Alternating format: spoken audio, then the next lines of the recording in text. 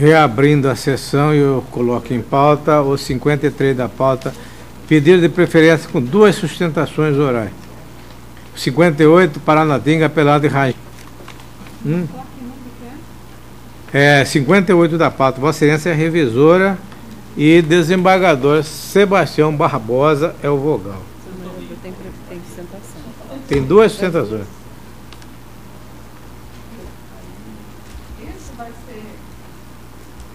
É umbilicalmente ligado a um outro. Ao 100? Ao 100. Perfeito. Vossa Excelência vai julgar em conjunto. Então eu julgo em conjunto. Então anuncio também Porque o 100. é a cautelar, Cautelar. que já fica resolvida junto com a principal. Ah, tá. É o 58, 58 desembargador. E o 100? e o 100 da pauta. Com a palavra eminente desembargadora relatora. Não. Não, é o 100. É uma oposição. É uma auto de oposição e o 100, e o 100 é uma cautelar. 58 e 100. 58. E Tratam-se de recursos de apelação Por favor, interpostos por Ayrton Pereira e sua esposa Obrigado. Clarice Bi Pereira e Rangel Brum Monteiro, em razão da sentença proferida pelo juiz da segunda vara civil da comarca de Paranatinga, que acolheu os pedidos formulados na oposição oferecida pelo segundo apelante em face dos primeiros recorrentes e da empresa Ferte Mourão Agrícola Limitada. O juiz singular julgou procedentes os pedidos do opoente, Rangel Brum Monteiro, restituiu-lhe a posse definitiva sobre a área rural de 3.360 hectares integrantes da Fazenda São Jorge e, de conseguinte, julgou improcedentes os pedidos formulados pela empresa Ferte Mourão Agrícola Limitada nos autos da ação de reintegração de posse ajuizada em desfavor de Ayrton Pereira e sua esposa. Por fim, o juiz sentenciante determinou a expedição do mandado de reintegração de posse condenou os opostos ao pagamento solidário das custas e honorários fixados em dois mil reais. Após a oposição de embargos declaratórios, o julgador singular ratificou a antecipação de tutela inicialmente concedida e determinou a reintegração imediata de Rangel Brum Monteiro na posse do imóvel.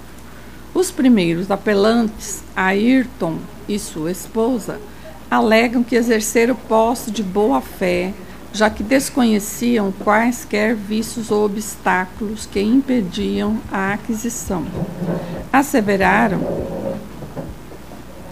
que, depois de revogada a liminar concedida em face do oponente, foram reintegrados na posse da, da área, ocasião em que realizaram diversas benfeitorias no imóvel, de modo que devem ser indenizados, pois foram introduzidas quando a posse lhes fora entregue pelo Estado juiz. Assim, requerem a reforma da sentença a fim de que, reconhecida a boa-fé objetiva, o recorrido seja condenado a indenizar as benfeitorias úteis e necessárias edificadas sobre o imóvel, bem como as voluptuárias, determinando a retenção da coisa até o adimplemento.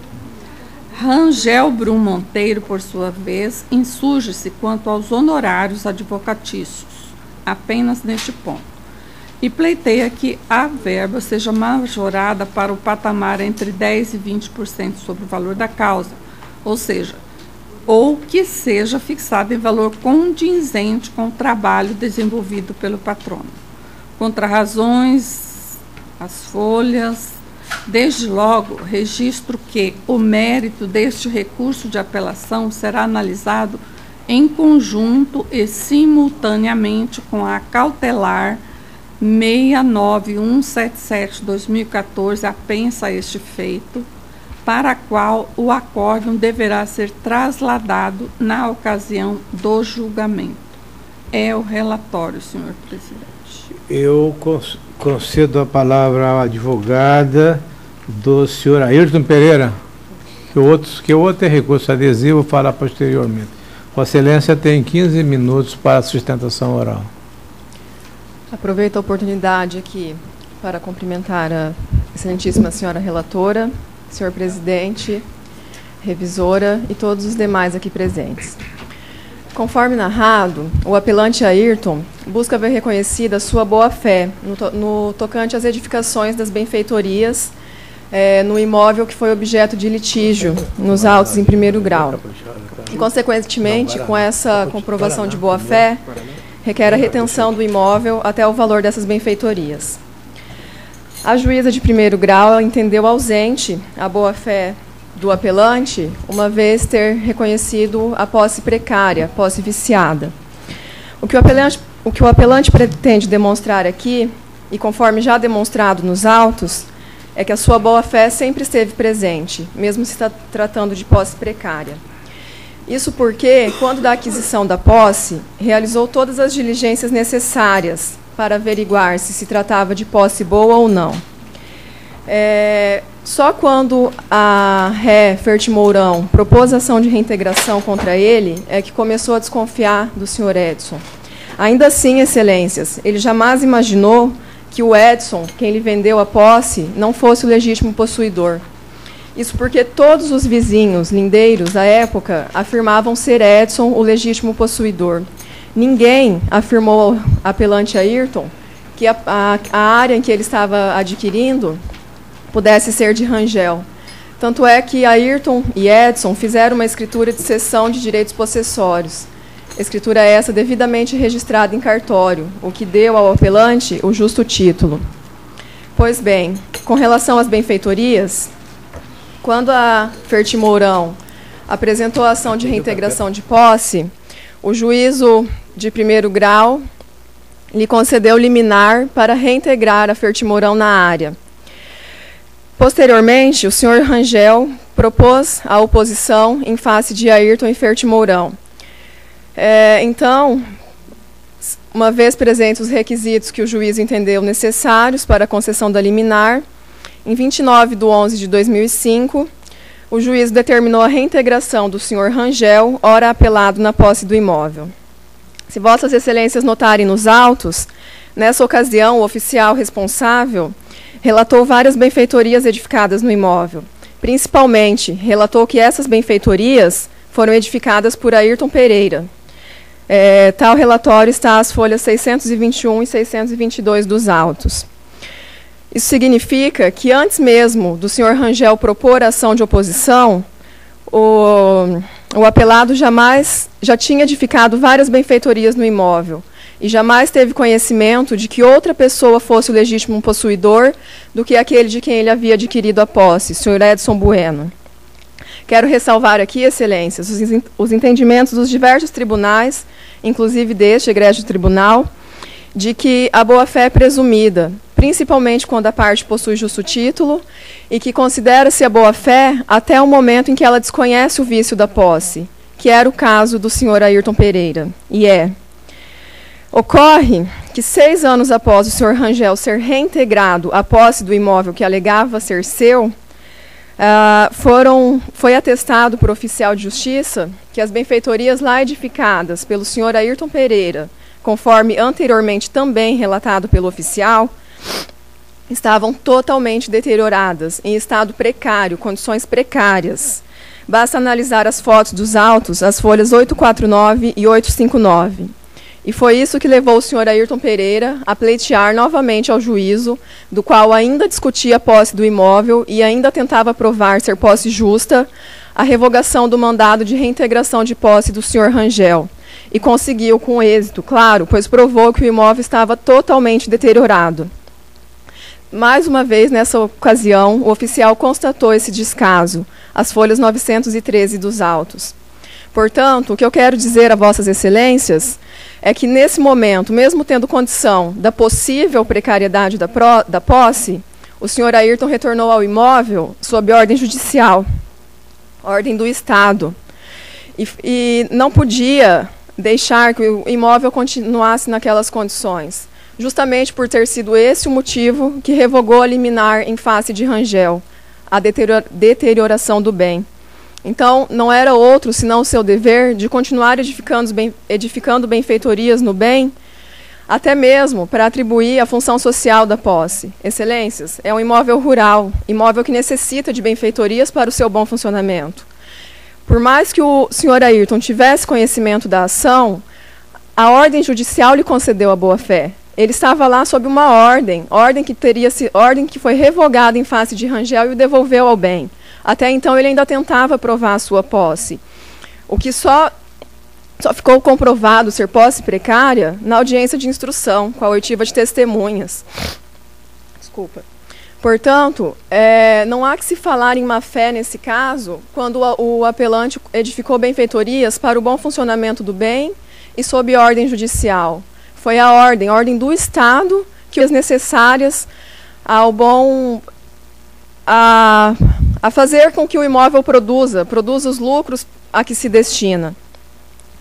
É, conforme já narrado, a boa-fé é presumida. O apelante tinha e tem que foi descaracterizado, óbvio, na sentença de primeiro grau, o justo título. Então, é, é, é, muito injusto e chega a causar enriquecimento ilícito ao apelado, caso não tenha o dever de ser indenizado por essas benfeitorias com a devida retenção do imóvel, eis que devidamente comprovada sua boa-fé. Ainda assim, caso Vossas Excelências entendam não demonstrada boa-fé, as benfeitorias do bem foram, são benfeitorias necessárias, Benfeitorias essas que, mesmo no caso de má-fé, devem ser indenizadas conforme prevê o Código Civil, o que da mesma forma foi ignorado pela juíza de primeiro grau. Portanto, é o requerimento do apelante Ayrton Pereira e Clarice Pereira que seja reconhecido por Vossas Excelências a boa-fé no tocante a edificações de benfeitorias no imóvel, benfeitoria e o seu direito à retenção tanto das benfeitorias úteis, necessárias e voluptuárias. Caso contrário, não sendo esse o entendimento de Vossas Excelências, requer ainda assim a, o seu direito à indenização per, pelas benfeitorias necessárias do imóvel, que devem ser devidamente delimitadas com a decisão. É o que tinha a requerer. Concedo a palavra ao ilustre advogado do, do Rangel para a citação oral Prazo regimental de 15 minutos. Vossa Excelência com a palavra. Eminente presidente, doutor Sebastião, desembargador, relatora, doutora Clarice Claudine da Silva, desembargadora é, vogal, revisora e demais componentes dessa igreja Corte de Justiça. Rangel Bruno Monteiro chegou na fazenda São Jorge no ano de 1986. E lá ele permaneceu 18 anos. Ali ele criava gado, vendia para açougueiro da cidade de Paranatinga. Ali ele fez, plantou pastagens. Apesar de ter uma vida modesta, tinha lá em torno de 100 cabeças de gado. E ele tomou conta dessa fazenda durante 18 anos. Aí ele foi estudar em Campo Grande e deixou funcionários, sempre teve funcionários lá na fazenda. E um dos funcionários, o capataz, negociou a posse com Ferte Mourão e com Ayrton Pereira. Pra, para tanto, usou os intermediários e também comprou, o seu Ayrton Pereira comprou da vizinhança. Por isso que ele pegou essa escritura de cessão de posses e pegou a assinatura dos vizinhos, que ele comprou a posse dos vizinhos, porque ali ninguém tinha título, era só posse. E o que, que ocorreu então? A Ferte Mourão promoveu uma ação de reintegração de posse contra o senhor Ayrton Pereira e sua mulher. Feita a audiência de justificação, restou comprovado plenamente por provas testemunhais insuspeitas que conduziram o magistrado a conceder uma liminar de reintegração de posse em desfavor do senhor Ayrton Pereira, que é parte e que é apelante também nesta, nesse julgamento. E ele, então, foi retirado da área, porque comprovou-se que, além da posse ser precária, era violenta, porque lá ele mantinha meia dúzia de pistoleiros no, e cadeados no portão que ele chegou, a primeira coisa que ele fez foi destruir as edificações pré-edificadas lá, como a casa sede, como curral, como cercas internas, piquetes, pocilga, galinheiro, que restou plenamente comprovado na audiência de justificação de posse. Então, a Ferte Mourão foi reintegrada na posse da fazenda em 13 de dezembro de, 1900, de 2005, de 2004, aliás, foi reintegrada. Aí foi que Rangel Bruno Monteiro ajuizou ação de oposição contra ambos, contra Ferte Mourão, contra Ferte Mourão e contra o senhor Ayrton Pereira, sua esposa. E foi então, houve então uma audiência de justificação. E nessa audiência de justificação, comprovou-se plenamente a precariedade da posse e a violência também em relação do senhor Ayrton Pereira, a violência da posse dele. E então, lhe foi é, concedida a tutela antecipada.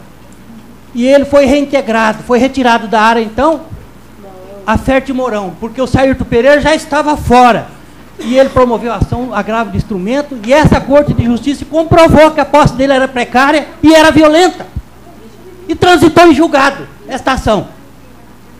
E passou-se para a instrução do processo. Ocorre, todavia, senhores julgadores, que o juiz de Primavera do Leste, onde reside e tem domicílio, será Ayrton Pereira e sua esposa, substituindo o juiz titular da segunda vara de Paranatinga em suas férias.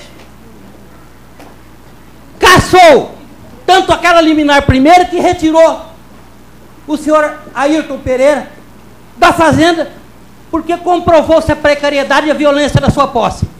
E caçou também a tutela antecipada concedida ao senhor Rangel Bruno Monteiro. E então, não se devolveu a posse de onde veio? Da Ferte Mourão. Porque entendeu-se que ele não tinha muito movimento na fazenda. Que alguma coisa estava deteriorada. Porque ele é fraco financeiramente. E o que, que aconteceu? O magistrado não devolveu a posse de onde veio, que era Ferto Mourão. Pulou a Ferto Mourão e devolveu para o senhor Ayrton Pereira o juiz lá da comarca onde reside. E ele então tomou posse e está lá até hoje. Porque não arrolou uma só testemunha para comprovar a sua boa fé. Não pediu perícia. Na contestação da ação de oposição, ele não requereu a perícia, não alegou que ele ficou benfeitorias, não requereu a retenção e não requereu a indenização por benfeitorias. Mas, senhores julgadores, ao findar do processo, já em 2013, ele, depois de reintegrado naquela decisão teratológica absurda, e essa Corte de Justiça não conheceu do nosso recurso por má formação do instrumento. E ele então está lá até hoje. Mas, ao julgar o mérito, foi restabelecida a situação de justiça. Aquele homem que está ali, naquela área, ficou 18 anos lá. Ele, o pai dele, a irmã dele, a família dele. Onde ele criou os filhos dele andando a cavalo, aí tem as fotografias. Até o veículo dele estava escrito Fazenda São Jorge. Está aí nos autos. Todas as provas. E a outra parte? Não rolou uma só testemunha para comprovar, pelo menos a sua boa fé. Porque tem muito dinheiro, comprou a terra dos vizinhos, pegou a escritura de sessão de postos, os vizinhos assinaram. Essa é a situação. O senhor Ayrton Pereira, porque tem muito dinheiro, contrata advogados renomados e consegue coisas impossíveis. Então quero dizer, senhores, aprecio com carinho. Olha as provas do processo. Comprove que houve preclusão, porque não alegou edificação de benfeitorias, nem na contestação.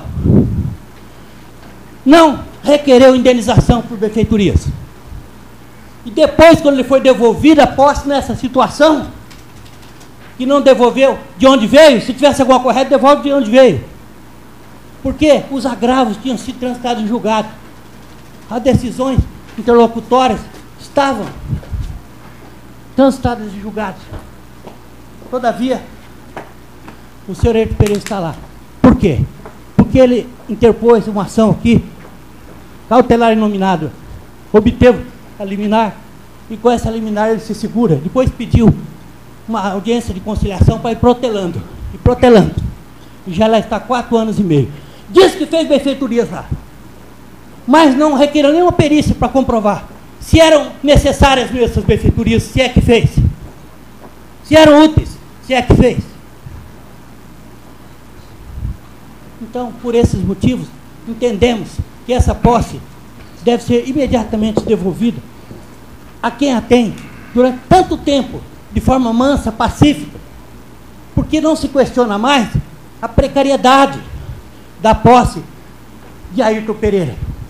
Porque ele, com a sentença de mérito no primeiro grau, ele se conformou, ele se resignou. Ele só quer se manter lá para continuar usufruindo do imóvel. Porque ele já, aqui ele só quer retenção e indenização por defeito. Ele não quer mais nada nesse recurso que apresentou. E o recurso, senhor Rangel? Seu recurso, senhor Rangel, pugna para a majoração dos honorários. Porque é uma fazenda de 3.360 hectares. E aí a avaliação da prefeitura, dois anos atrás, mais de 8 milhões de reais vale. E foi destinado no arbitramento dos honorários de sucumbência, 2 mil reais para mim e meu colega advogado. Eu vou ficar com mil reais, ele vai ficar com mil. Nós entendemos que isso é aviltante à advocacia, que tem que ser majorado. Até porque a causa é importante. Trata-se do bem da vida, uma fazenda de 3.360 hectares. Muitos recursos.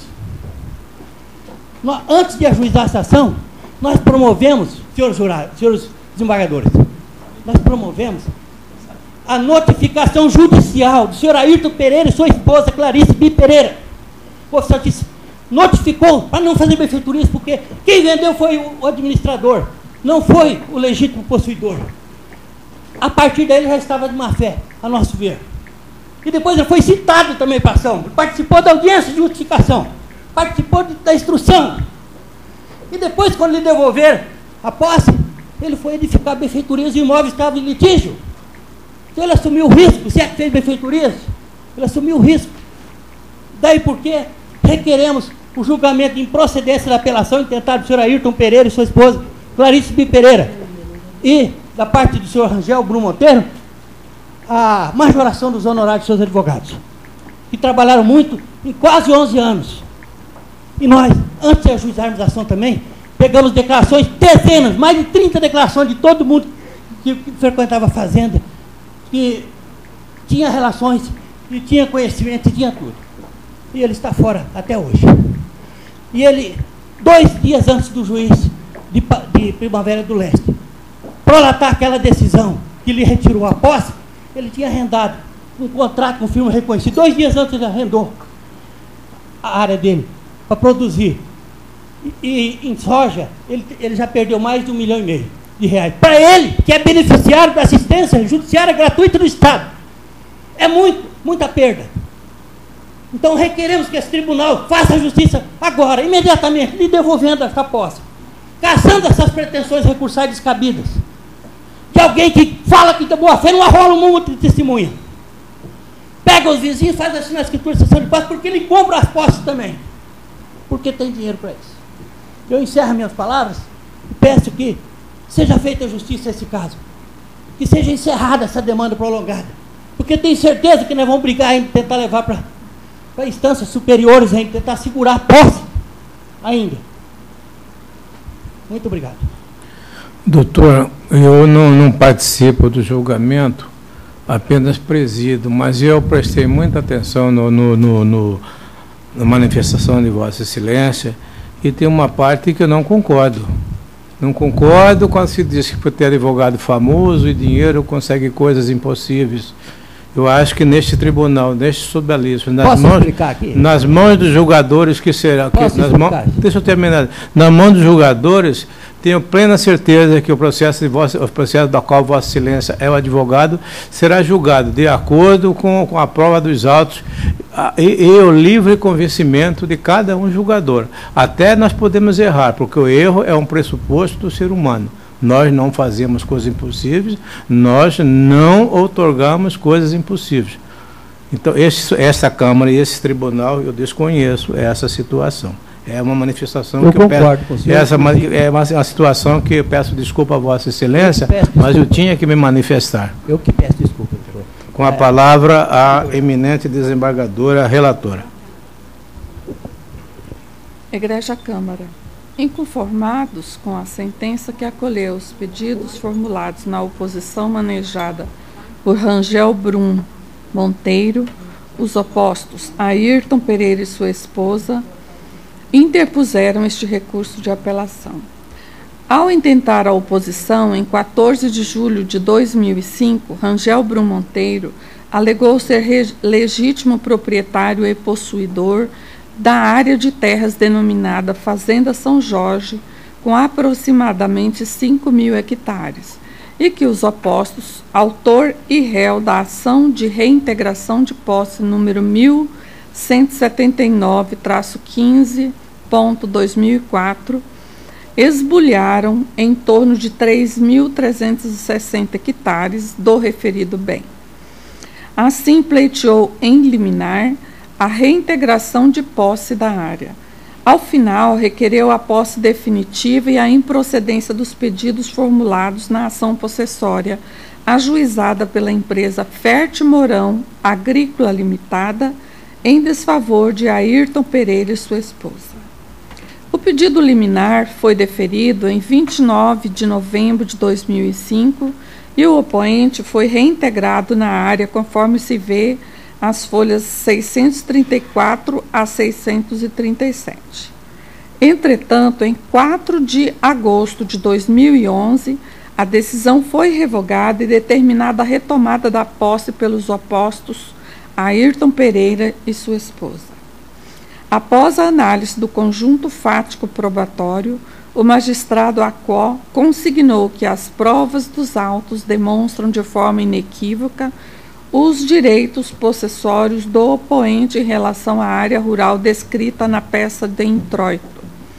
E, de conseguinte, o esbulho praticado pelos opostos, empresa Ferte Mourão Agrícola Limitada e Ayrton Pereira e sua esposa. De acordo com o douto julgador singular, é indiscutível a precariedade da posse exercida pelos opostos, porque tem origem viciada, já que foi transferida por mero detentor, senhor Edson Bueno Leão, o qual jamais exerceu a posse da área rural. O terceiro, de acordo com o deciso, tão somente trabalhava na fazenda do opoente Rangel Brum Monteiro. Assim, tendo em vista o vício original da posse em relação a Edson Bueno Leão, que vendeu os direitos possessórios da área para a empresa Fértil Mourão Agrícola Limitada e Ayrton Pereira e esposa, o juiz singular consignou que, aspas, não há que se falar em reconhecimento de qualquer direito à indenização por benfeitorias ou aquisição da propriedade mediante justa indenização conforme a disposição do artigo 1255 do Código Civil, especialmente porque nos autos não se discute o domínio da coisa, mas apenas a posse. Fecho aspas. E prossigo. Dessa forma, o julgador ACO acolheu os pedidos do oponente Rangel Brum Monteiro restituiu-lhe a posse de, definitiva sobre a área rural de 3.360 hectares integrantes da Fazenda São Jorge e, de conseguinte, julgou improcedentes os pedidos formulados pela empresa Fértil Mourão Agrícola Limitada nos autos da ação de reintegração de posse manejada em face de Ayrton Pereira e esposa. Por fim, o juiz sentenciante determinou a expedição do mandado de reintegração de posse, condenou os opostos ao pagamento solidário de custas e honorários arbitrados em 2 mil reais. Ayrton Pereira e sua esposa manejaram embargos de declaração para que fosse reconhecida a sua boa-fé quando da aquisição do imóvel à época em que foram amparados por ordem judicial determinando-se ao oponente requerido a indenização pelas benfeitorias úteis e necessárias, bem como pelas voluptuárias. Em contrapartida, Rangel Brum Monteiro interpôs embargos declaratório em que requereu a expressa confirmação da liminar que deferiu a antecipação de tutela e que o reintegrou na posse. O magistrado singular negou o provimento aos embargos interpostos pelos opostos apelantes por, ter, por considerá-los com caráter protelatório. No entanto, deu provimento parcial aos declaratórios manejados pelo oponente Rangel Brum Monteiro para suprir a omissão da, verificada na sentença e ratificar a antecipação da tutela, qual seja, a reintegração imediata na posse do imóvel. Em 4 de junho de 2014, Ayrton e sua esposa ajuizaram a ação cautelar inominada, protocolizada sob o número 69177-2014, em que reiteraram a tese de que adquiriram a posse de boa-fé do imóvel rural denominado Fazenda São Jorge, mediante escritura pública de cessão de posse firmada por Edson Bueno Leão, eis que este afirmara ser legítimo possuidor, de maneira mansa e pacífica por mais de 20 anos. Argumentaram que, embora o autor da oposição tenha obtido a posse do imóvel em antecipação de tutela, no decorrer da lide, a decisão foi revogada e a posse foi restituída. Aí, a partir daí, realizaram diversas benfeitorias no imóvel. Asseveraram que, ao julgar a oposição, o magistrado singular confirmou os efeitos da antecipação de tutela e deferiu a reintegração de posse de Rangel Brum Monteiro. Entretanto, segundo aduziram, tem o direito de retenção pelas benfeitorias realizadas. Sob esses argumentos, na cautelar, requereram a concessão do efeito suspensivo à apelação por eles interposta, para que fosse sobrestado por conseguinte, sobrestados por conseguinte, os efeitos da sentença, notadamente no que diz respeito à reintegração de Rangel Brum Monteiro na posse do imóvel. A liminar foi deferida consoante se observa a folha 94 95 nos autos em apenso.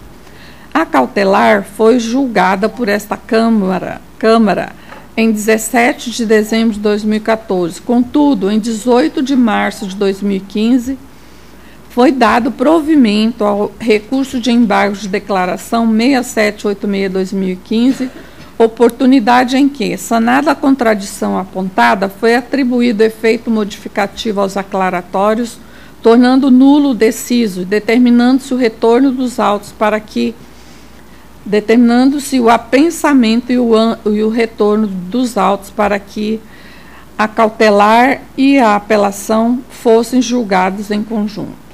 Nas razões do apelo, Ayrton e sua esposa também sustentam a tese de que exerceram posse de boa-fé, já que desconheciam quaisquer vícios ou obstáculos que impedissem a aquisição. Asseveraram que, depois de revogada a liminar, foram reintegrados na área, ocasião em que passaram a realizar diversas benfeitorias.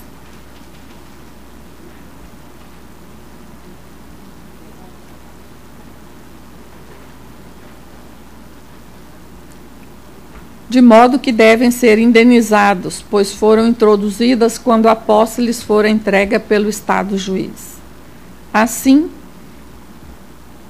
como já foi dito nessa tribuna, requereram a reforma da sentença a fim de que fosse, seja reconhecida a boa-fé objetiva e o recorrido seja condenado a indenizar as benfeitorias úteis necessárias, úteis e necessárias, assim como as voluptuárias determinando-se a retenção até o adimplemento. Pois bem, é disso que a posse é o exercício de fato, pleno ou não, de algum dos poderes inerentes à propriedade e pode ser adquirida ou transferida em consequência de manifestação de vontade ou em função da sua origem, conforme se extrai do artigo 1205 do Código Civil, que transcrevo, mas peço licença para poupá-los da leitura. Logo, a alienação da posse é possível. Contudo, é imprescindível que o vendedor tenha de fato a posse para alienar. Na hipótese, o conjunto probatório permite concluir com segurança que Edson Bueno Leão jamais exerceu posse sobre a área de terras objeto desta lide. Era mero detentor, pois trabalhava para o recorrido na Fazenda São Jorge.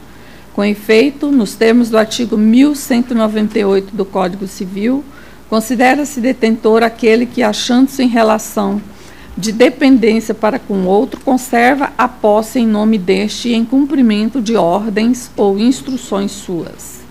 Trago ainda lições doutrinárias sobre este conceito, distinguindo posse da detenção Porém, também peço licença para não fazer a leitura, porque é de todo des, despicienda, penso eu. Trago também lição de Silvio Sal, de Salvo Venosa, Silvio Rodrigues e outros. Porém, prossigo eu. Há que se observar que não apenas o detentor que exerce o aspecto material da posse não possui a proteção possessória, como também a degradação da posse ocorre nas hipóteses de causas obstativas de aquisição da justa posse, em situações de apossamento violento, clandestino ou precário. A ideia básica é de que a quem é de que quem inicia a detenção como mero fâmulo ou detentor não pode alterar por vontade própria essa situação e tornar-se possuidor. Para que o detentor seja considerado possuidor, há necessidade de um ato ou negócio jurídico que altere a situação de fato. Por isso, presume-se que o fâmulo se tenha mantido como tal até que ele prove o contrário. Essa modificação não depende da vontade unilateral do defensor, do detentor. Assim, a ninguém é lícito inverter o título da posse arbitrariamente por exclusiva deliberação e sem fundamento jurídico que o ampare. Logo, é óbvio que o detentor não pode vender a posse que apenas conserva em nome do terceiro possuidor em cumprimento de suas ordens. E, de conseguinte, aquele que adquire a posse, entre aspas, do detentor não pode invocar proteção possessória, pois o ordenamento jurídico não a protege, eis que precária. Nesses termos, pode-se concluir pelas provas dos autos que Edson Bueno Leão, que laborava na área em contenda a mando do recorrido, tinha a obrigação de conservar a posse em nome do apelado, ou seja, foi contratado para trabalhar e ali permaneceu a fim de cumprir ordens e instruções do recorrido.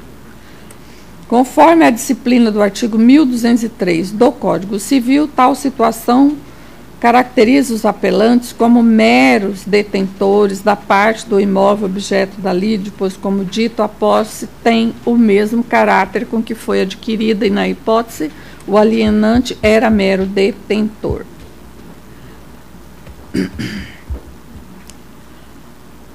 Explico em outras palavras: o detentor não pode modificar seu status e se tornar possuidor do bem por sua vontade unilateral. Logo, mesmo que os recorrentes tenham efetuado o pagamento para Edson Bueno Leão e exercido durante certo tempo poderes de fato sobre a área individualizada nos autos, não se pode qualificar tal circunstância como caracterizadora de posse apta a receber proteção, pois a aquisição foi viciada. O vendedor não exercia posse legítima, posse propriamente dita, sobre o imóvel alienado.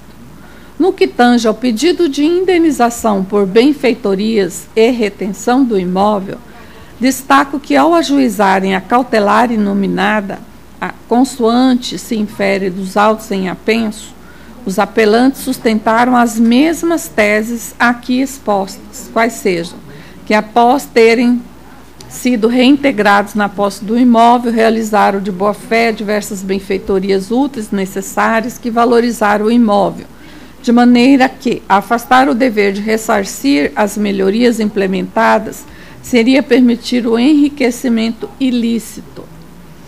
Alegaram que apresentaram petição ao magistrado, ao magistrado Acó em 10 de janeiro de 2013, com descrição das benfeitorias introduzidas após a concessão da ordem judicial, e sustentaram que as benfeitorias deverão ser ressarcidas com direito à retenção, pois o juiz da instância singular deixou de observar o que diz o artigo 1219 do Código Civil haja vista que a ordem judicial lhes conferiu o status de possuidores de boa-fé.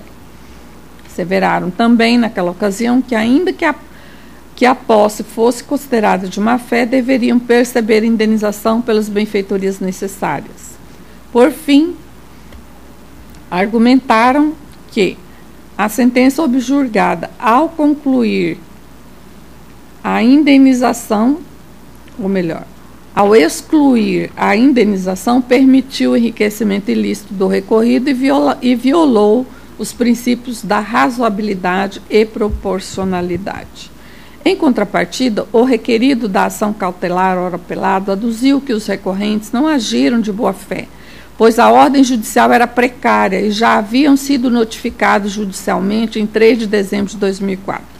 Asseverou que desde a citada data os apelantes não poderiam ser possuidores de boa fé alegou que, consoante a oitiva das testemunhas na ação de reintegração de posse, a posse dos apelantes foi de má fé, eis que invadiram a área, mantiveram pistoleiros armados, trancaram com cadeado a porteira de entrada da fazenda e destruíram as benfeitorias pré-existentes.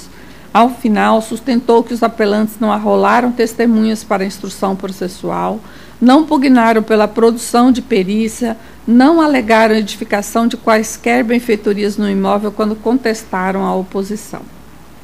Tais argumentos também foram vertidos nas contrarrazões apresentadas pelo apelado, conforme se observa as folhas 1834-1862. Eminentes pares, em que pesa as judiciosas razões arguídas pelos requerentes da cautelar, ora apelantes, tenho que razão não lhes assiste. É-se disso que o direito de retenção, o direito à retenção pelo valor das benfeitorias necessárias e úteis, está previsto no artigo 1219 do Código Civil, que possui a seguinte redação: aspas, o possuidor de boa-fé tem direito à indenização das benfeitorias necessárias e úteis, bem como quantas voluptuárias, se não lhe forem pagas, a levantá-las quando o puder, sem detrimento da coisa e poderá exercer o direito de retenção pelo valor das benfeitorias necessárias e úteis. No caso em análise, ainda que as benfeitorias tenham sido edificadas após a reintegração na posse por ordem judicial, os requerentes apelantes já não poderiam alegar desconhecimento de vício ou obstáculo à aquisição, haja vista que a determinação judicial que os reintegrou ainda era provisória pois a lide estava pendente de julgamento. Com efeito, tendo em vista que os artigos 1201 e 1202 do Código Civil estatuem que é de boa-fé a posse se o possuidor ignora o vício ou o obstáculo que impede a aquisição da coisa e que perde esse caráter de boa-fé desde, que, desde o momento em que as circunstâncias façam presumir que o possuidor não ignora que possui indevidamente, é imperioso reconhecer que a edificação de benfeitorias e a mudança no estado do imóvel durante o período em que vigorava a liminar afasta a boa-fé e impede a pretendida retenção requerida pelos requerentes apelantes. É na natureza das liminares sua provisoriedade, de forma que as obras introduzidas no imóvel guerreado durante sua vigência afastam o reconhecimento de boa-fé por parte dos recorrentes que, aliás, já usufruíram todo esse tempo do imóvel. Nesse sentido, trago precedentes de diversas cortes desses. Senhor presidente, sem país. querer interromper, mas já interrompendo a eminente relatora, a condução do voto da eminente é no sentido de, por todos os argumentos e fundamentos que ela nos trouxe, de negar provimento Isso. ao recurso. Né? O voto é longo, eu só peço vênia para para encurtarmos o. É que nós temos uma pauta extensa em reunião às 15 horas. Em homenagem aos, aos doutos patronos, eu, eu, eu não faço, não estou fazendo como de costume, fazendo um breve resumo, mas realmente não se pode não se pode, não tem como Com a sustentação oral de ambos os advogados e com os fundamentos já trazidos pela eminente relatora, acho que a causa está mais do que eu recebi o voto da eminente relatora, fiz um voto uhum. de revisão, eu acho que só falta concluir, eminente relatora, quanto tá. à relação aos honorários. Né? Mas esse é o primeiro apelo, então vou concluir o primeiro e fundamentar o segundo. Dessa forma, considerando que os recorrentes são meros detentores do imóvel e o Código Civil prevê o direito de indenização pelas benfeitorias somente ao possuidor, que não é o caso, não sendo conferida a mesma prerrogativa ao detentor, a sentença não merece reforma também neste capítulo. Aí, quanto à apelação do senhor Rangel Brum, eu estou entendendo que realmente é aviltante esse essa fixação em dois mil reais e estou dando procedência, estou acolhendo aqui. O trabalho foi muito bem desenvolvido, não há como negar tudo isso. Eu estou aumentando é, para 50 mil reais os honorários. Eu estou de pleno Mantendo acordo. Mantendo os demais termos da sentença. Fiz a revisão, cheguei à mesmíssima conclusão, tenho o voto escrito e irei liberá-lo também pelo, pelo, pela elevação do, dos honorários. O processo está aqui pelo tempo, pelo trabalho, pela complexidade da causa.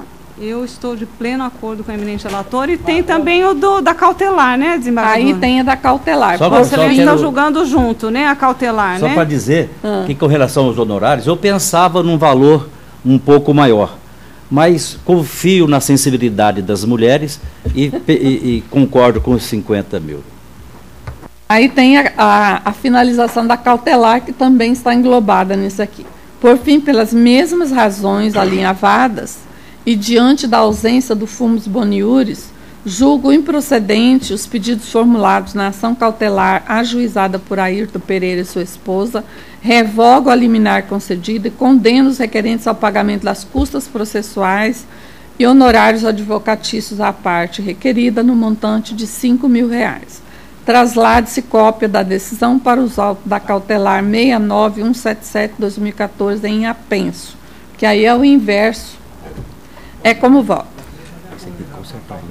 Estou de acordo, fazendo um adendo de que revogando-se a liminar da cautelar, a eminente relatora, como faz agora, já está dando por é, encerrada a causa a partir de hoje com relação a, né? Ah. Se é revogada agora, nesse plenário, a, a liminar, e se se trata de uma cautelar, portanto, é, é, perde, eu estou aqui revogando então, a, a, a, a, conclusão é de que cumpra-se imediatamente. Cumpra-se de imediato. De imediato. Então, de a conclusão é a seguinte: recurso principal, recurso do Ayrton Pereira, conhecido e desprovido, do Rangel, conhecido e provido parcialmente. Isso, e a cautelar. A cautelar de forma inversa.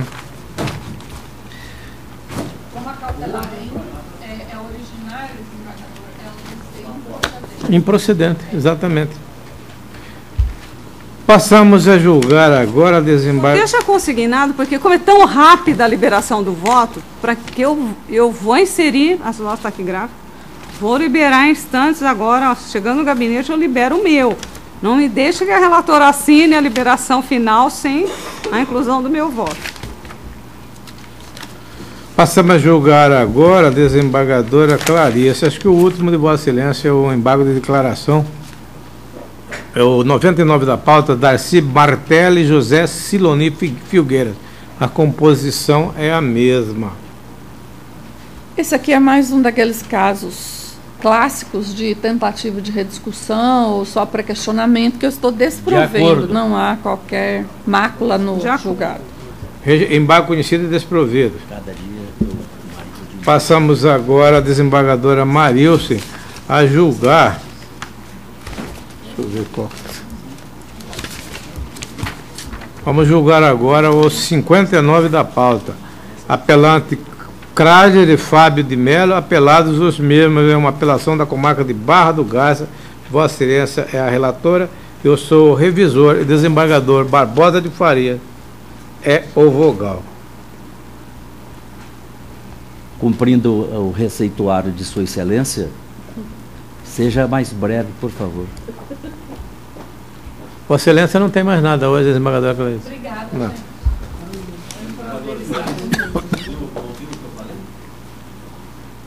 Não. Siga a sua orientação. Seja breve.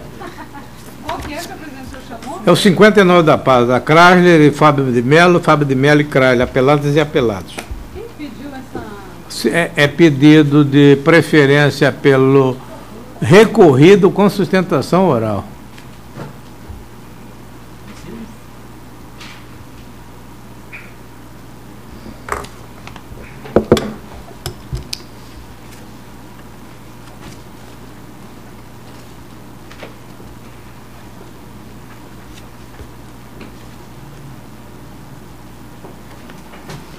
Trata-se de recurso de apelação interposto por Chrysler Group do Brasil, Comércio de Veículos Limitado, em face da sentença que julgou parcialmente procedentes os pedidos da ação combinatória de substituição de produto viciado, cumulada com indenização por danos materiais e morais, ajuizada por Fábio Melo Ferreira.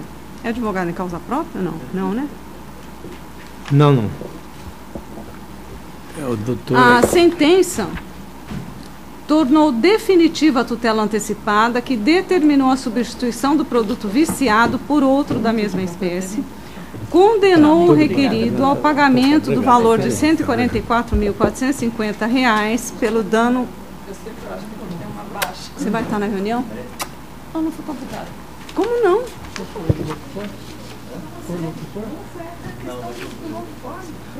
Nós trabalhamos, acho que. Pode se aposentar. Uma perspectiva de trabalho. Mandei conferir. Mas é. Não foi natural. Lá na sala, naquele.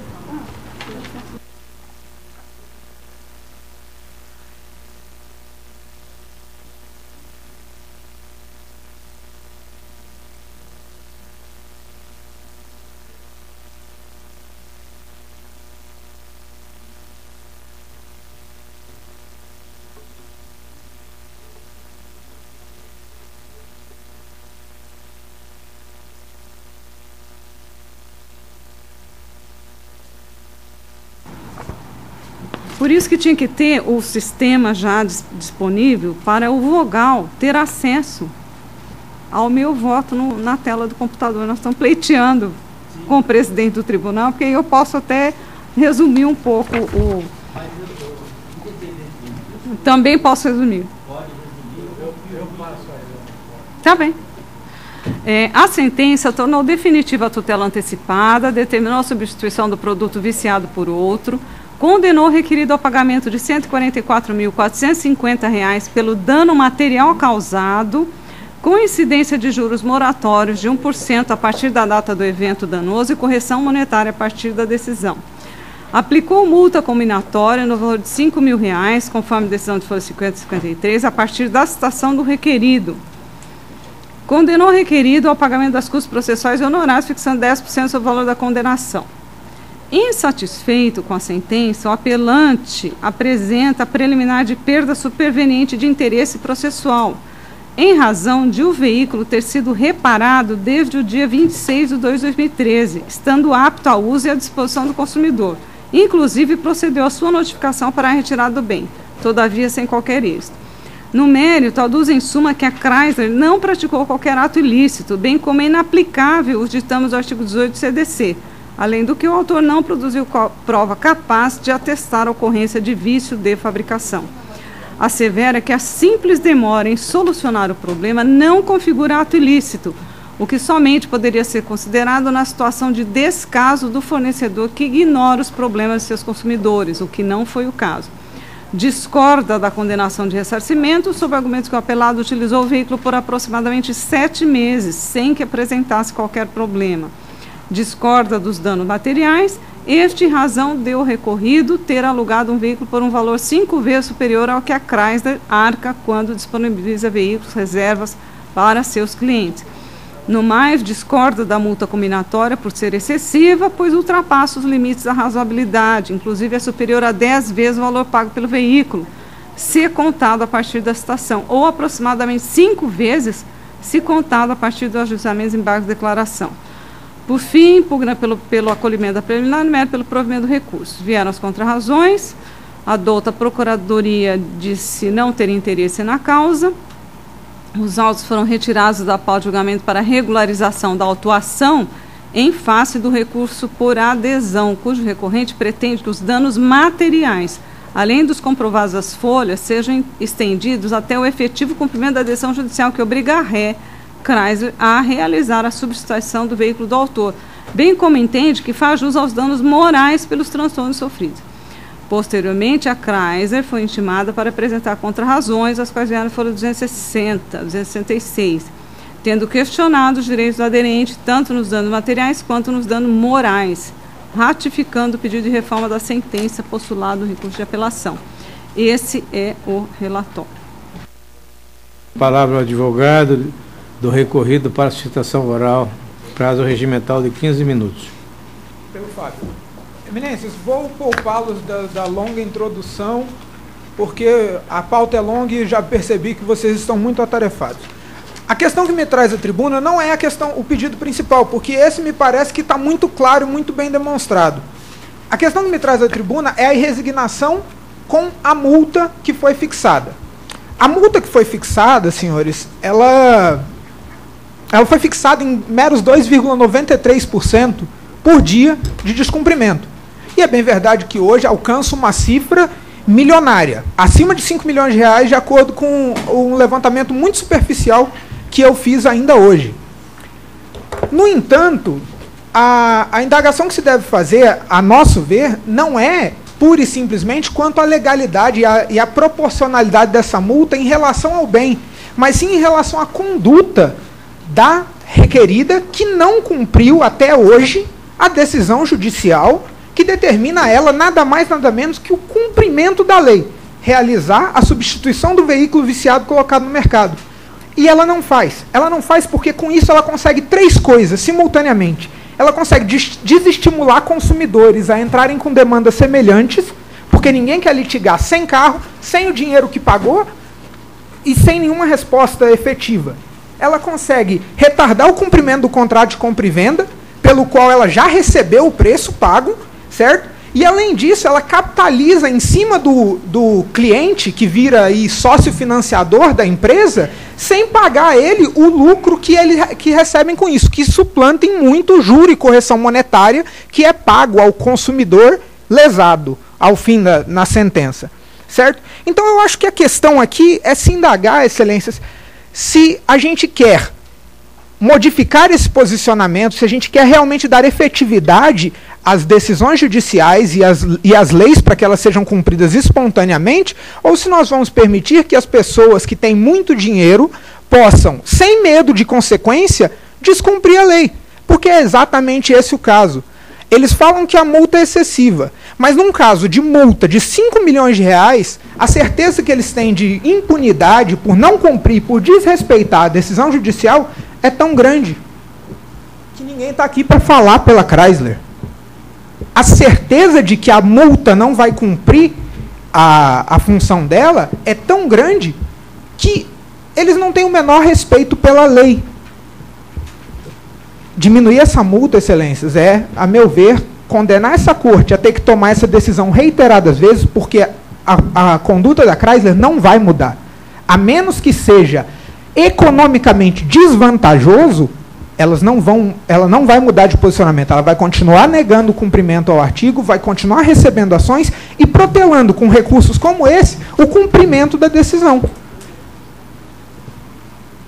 Ou a gente dá efetividade às decisões judiciais e, e faz com que a ré tenha receio de litigar, que isso lhe cause prejuízo, ou o nosso futuro é muito ruim os nossos filhos, os nossos netos, as gerações futuras vão viver num mundo de democracia parcial, em que o dinheiro compra o direito de descumprir a lei. Certo? Por esses fundamentos, excelências, eu confio que a coisa certa a se fazer é julgar totalmente improcedente o recurso do apelante, dar provimento ao apelo adesivo da sentença, bem como indenizar a locação do veículo pelo, pelo apelado até eles cumprirem a decisão. E mais que isso, majorar a multa daqui por diante para ver se finalmente a Chrysler e sua gestão começam a sentir a força cogente da lei e do, do, das decisões judiciais do Tribunal do Mato Grosso. Lamento pelo, por ter me estendido além do que eu pretendia. Agradeço a atenção. Com a palavra, a eminente relatora. Bom, já foi dito e percebido que se trata de um vício de veículo. É um Dodge Ram diesel. Eu estou aqui fazendo sim a alteração do ato sentencial para incluir dano moral que não foi sentença, não sei se julgou improcedente ou se não passou por É, não, não, julgou improcedente, porque não houve condenação por dano moral. Eu estou entendendo que no caso há sim dano moral por todos os transtornos é, experimentados pelo adquirente desse veículo. Eu estou sim condenando em 40 mil reais no dano moral devidamente corrigido pelo NPC a contar deste julgamento e juros de mora a partir da citação. Com relação aos danos materiais,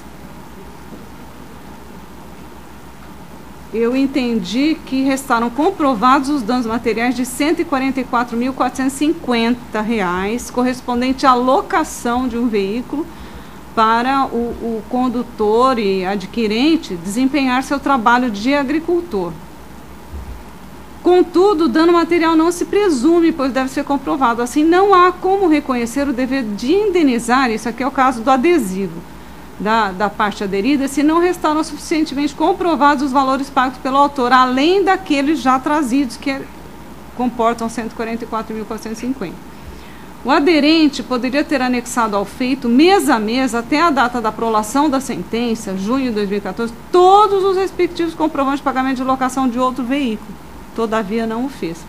Assim, não há como reconhecer o dever de indenizar da aderida se não restaram suficientemente comprovados o prejuízo material que foi efetivamente suportado.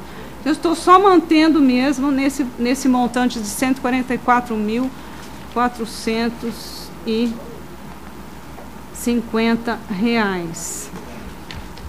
Com relação ao recurso da Chrysler,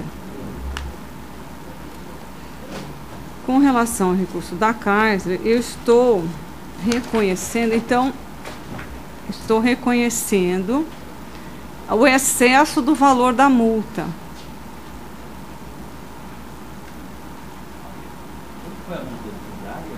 Multa diária de 5 mil reais. Conforme bem colocado aqui na tribuna, hoje chega a.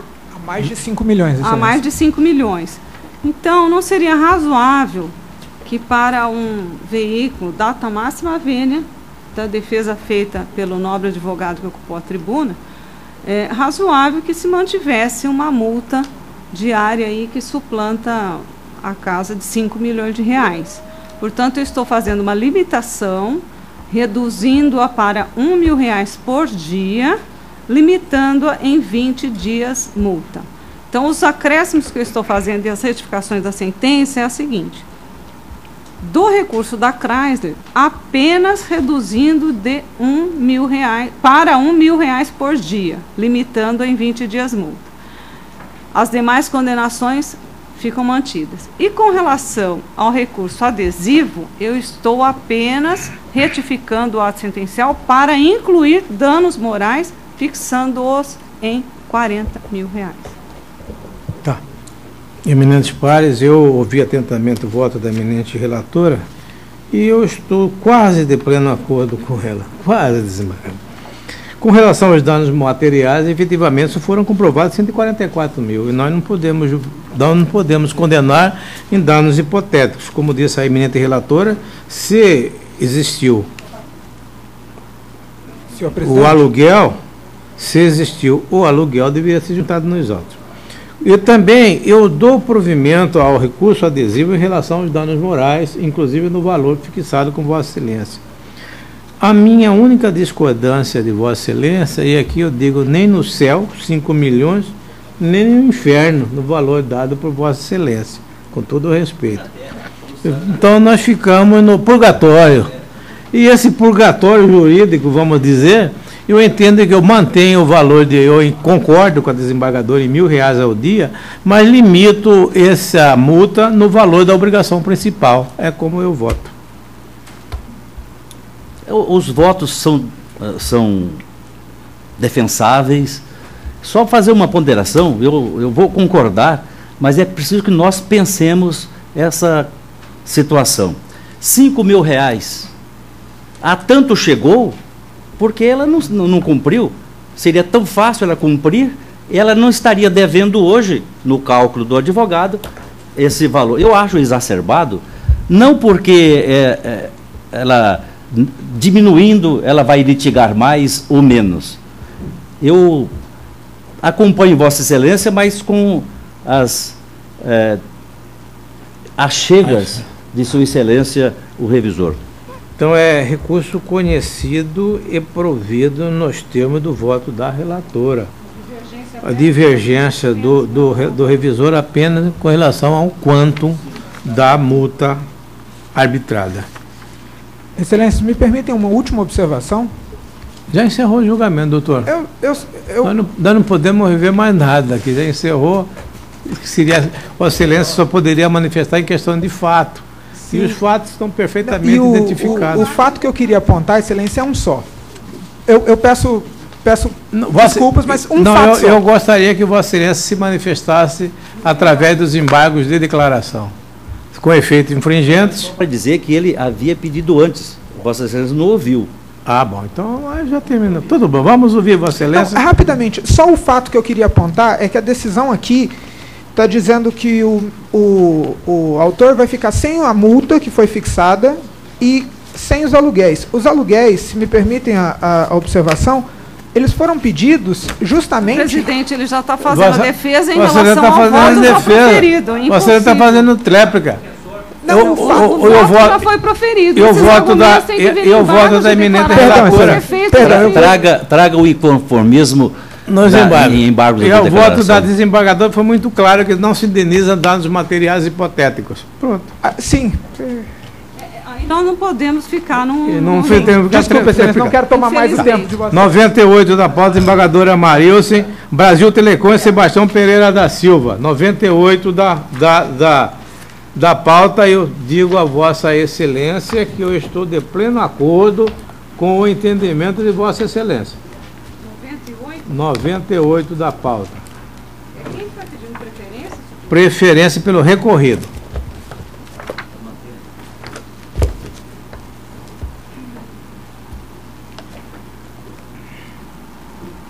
É, é uns são, são embargos de declaração, né?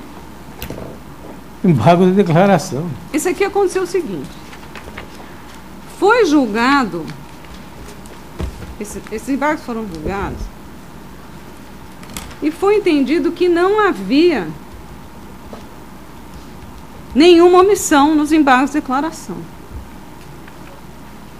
Mas constou do, do voto que não seria de utilidade pública o serviço prestado pela Brasil Telecom.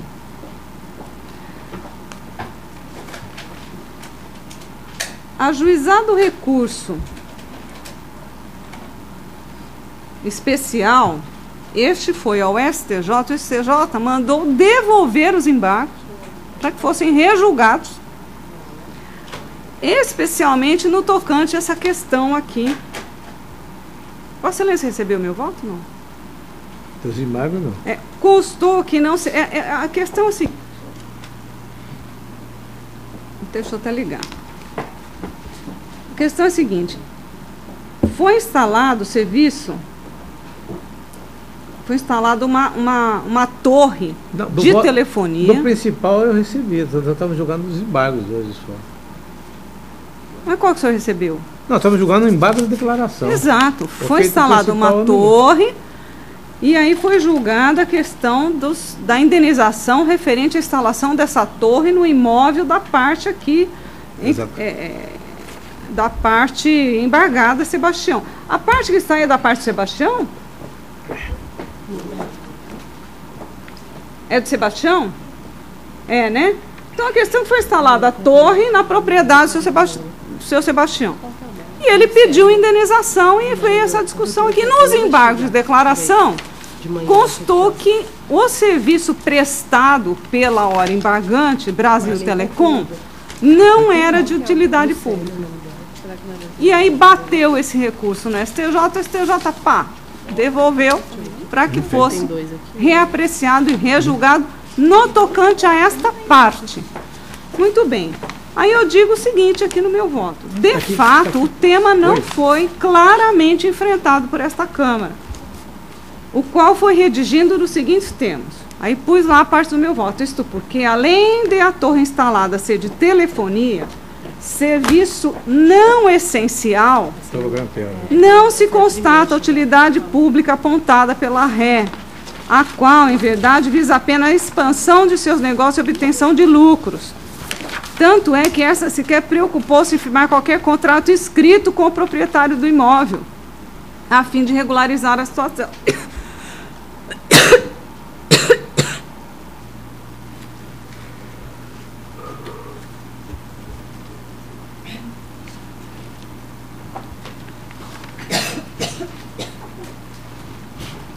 Então, esse é o ponto. Quando eu reli o meu voto, eu percebi que, de fato, houve um equívoco de minha parte quando mencionei que a torre instalada de telefonia seria serviço não essencial. Aí eu fiz toda uma construção doutrinária do que, que seria serviço, serviço de utilidade pública, serviço essencial, serviços uticíngulo individuais. Aí eu explico melhor o voto. O que, que se quis dizer, na verdade, é que a torre, objeto da discussão, foi instalada em bem que não foi declarado de utilidade pública.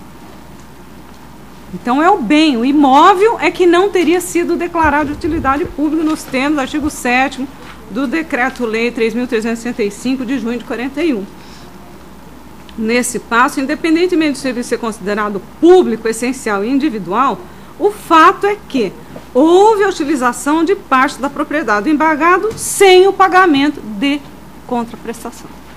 Esse é o ponto. Perfeito. Então, eu estou dando parcial provimento, senhor presidente, para entender que houve uma contradição no julgado e precisaria aclarar a questão. Mas não E eu aclarei. Mas, neste aclaramento, eu estou transcrevendo ipsis literis um, uma decisão monocrática do ministro Marco Buzzi, no Aresp número tal lá, que fala exatamente instalação de torre de transmissão de sinais de telefonia imóvel alheio sem a devida contraprestação pecuniária. Evidente obrigação de indenizar o proprietário do imóvel pela sua utilização indevida. E transcrevo o voto monocrático do ministro Marco Buzzi, ou seja, de que há necessidade de ser indenizado o proprietário do imóvel cuja parte é utilizada pela construção de torre de telefonia. Estou dando parcial provimento apenas para aclarar a questão, mas mantendo na íntegra o resultado do julgamento. Por isso que não houve, no final das De contas. pleno acordo com Vossa Excelência. Concordo somente com o efeito integrativo e por isso acompanho E a fa, e faz relatora. conhecido e desprovido. então. Parcialmente provido. Parcialmente pro- provido. Embargadora Marisa, da relatoria de Vossa Excelência, aos 65 da pauta. Nair Pires Nascimento e Micael Maxi Gomes Nascimento. Uma apelação da comarca da capital. A, a, salienta a Vossa Excelência que existem pedidos, dois pedidos para sustentação oral.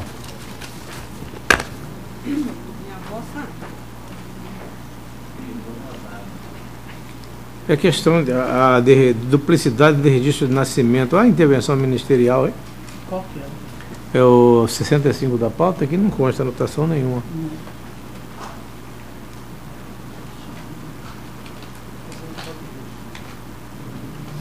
Tem. Tem.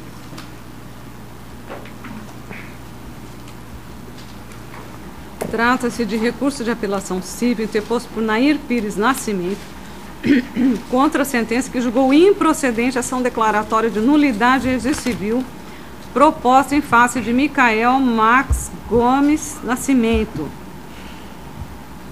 mantendo na íntegra o segundo registro de nascimento de Juarez do Nascimento. Matrícula número tal, no Paraná.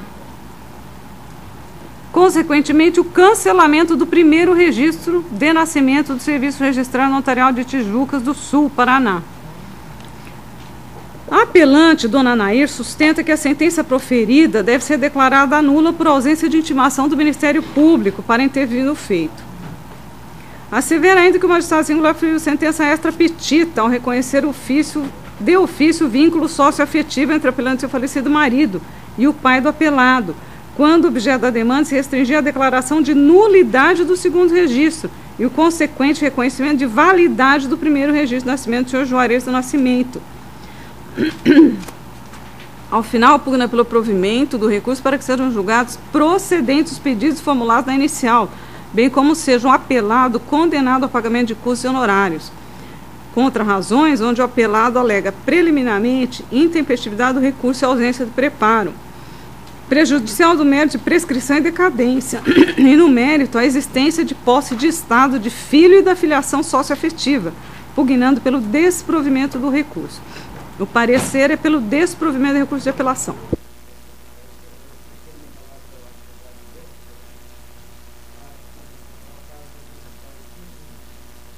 Muito obrigado, Excelência. Boa tarde a todos. É, realmente esse, esse recurso de apelação, ele é um tanto interessante na área de família especialmente, porque ele trata de um assunto que é bastante comum dentro do Brasil, que é a adoção brasileira. Porém, nesse caso especificamente, a defesa sustenta que não existe adoção brasileira. A adoção brasileira é quando o filho não tem pai ou não tem mãe e é adotado por um terceiro, ou um pai ou uma mãe, ou pais, do mesmo jeito. E não foi o que aconteceu nesse caso. Não houve adoção brasileira. A criança já tinha pai e já tinha mãe. Ela simplesmente foi morar com os tios para poder é, receber um benefício. Desculpa, um benefício de plano de saúde e residiu com esses tios até uma certa idade e depois perdeu-se total e completamente o contato. É, se diz que para poder existir o reconhecimento de vínculo socioafetivo, como está na sentença que se propõe a, a modificação, é de que deveria existir aí um vínculo afetivo mesmo, em que as pessoas tivessem carinho ou respeito que fosse. O que não existiu no caso. Porque depois que essa, esse cidadão parou de morar com os tios, ele nunca mais teve contato direto com eles. Nenhum contato.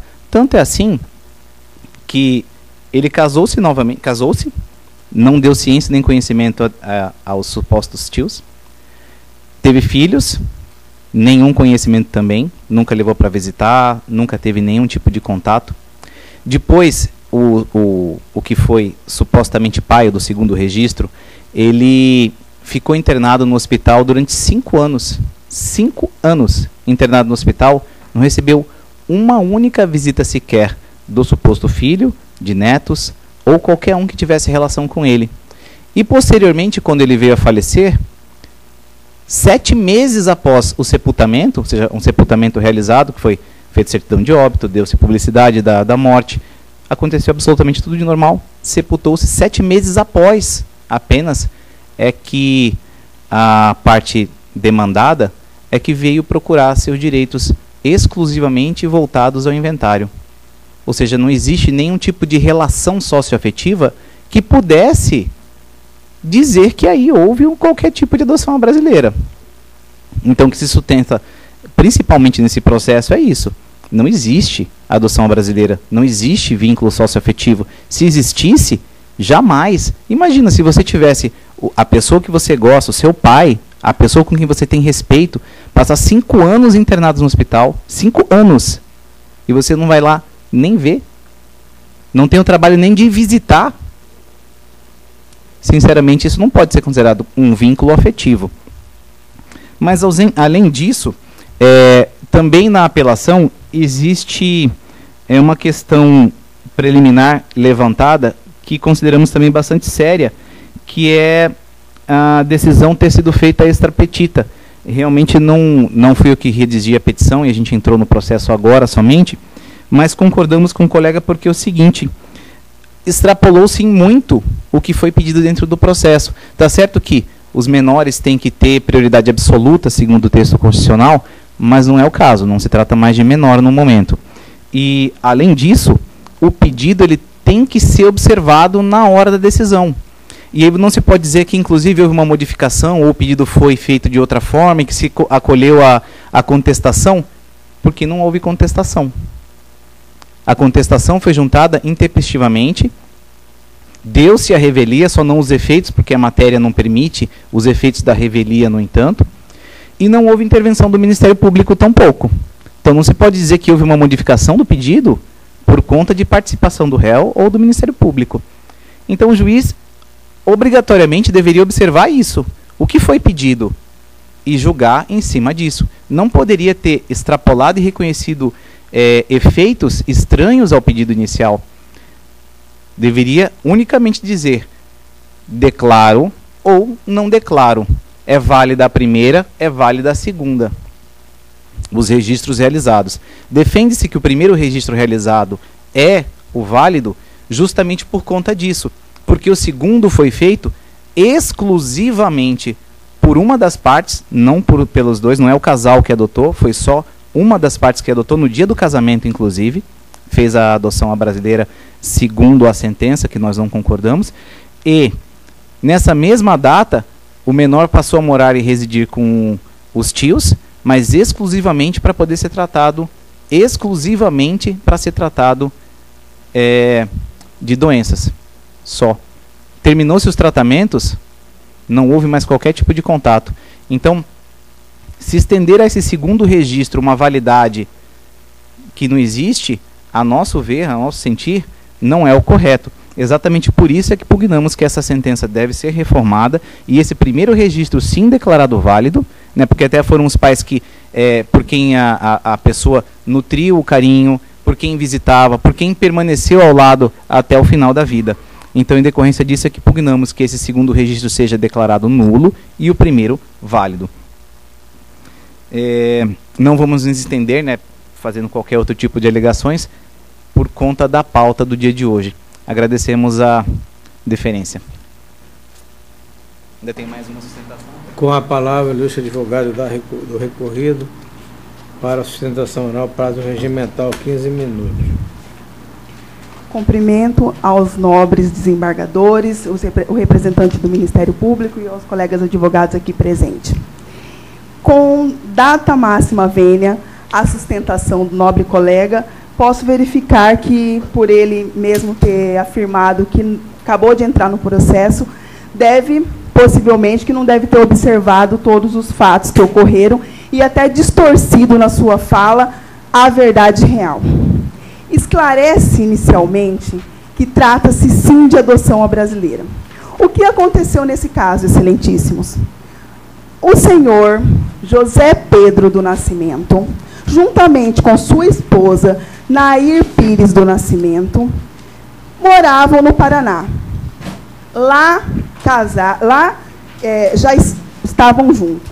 Conforme narrado por eles mesmos na sua petição inicial, vieram para Mato Grosso.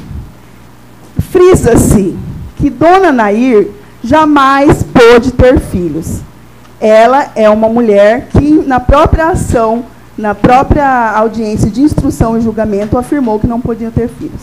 Acredito eu, porque a gente nunca vai saber da verdade real, justamente porque o senhor Juarez, aqui o nobre colega fala que não esteve com seu pai no óbito, morreu muito antes dele.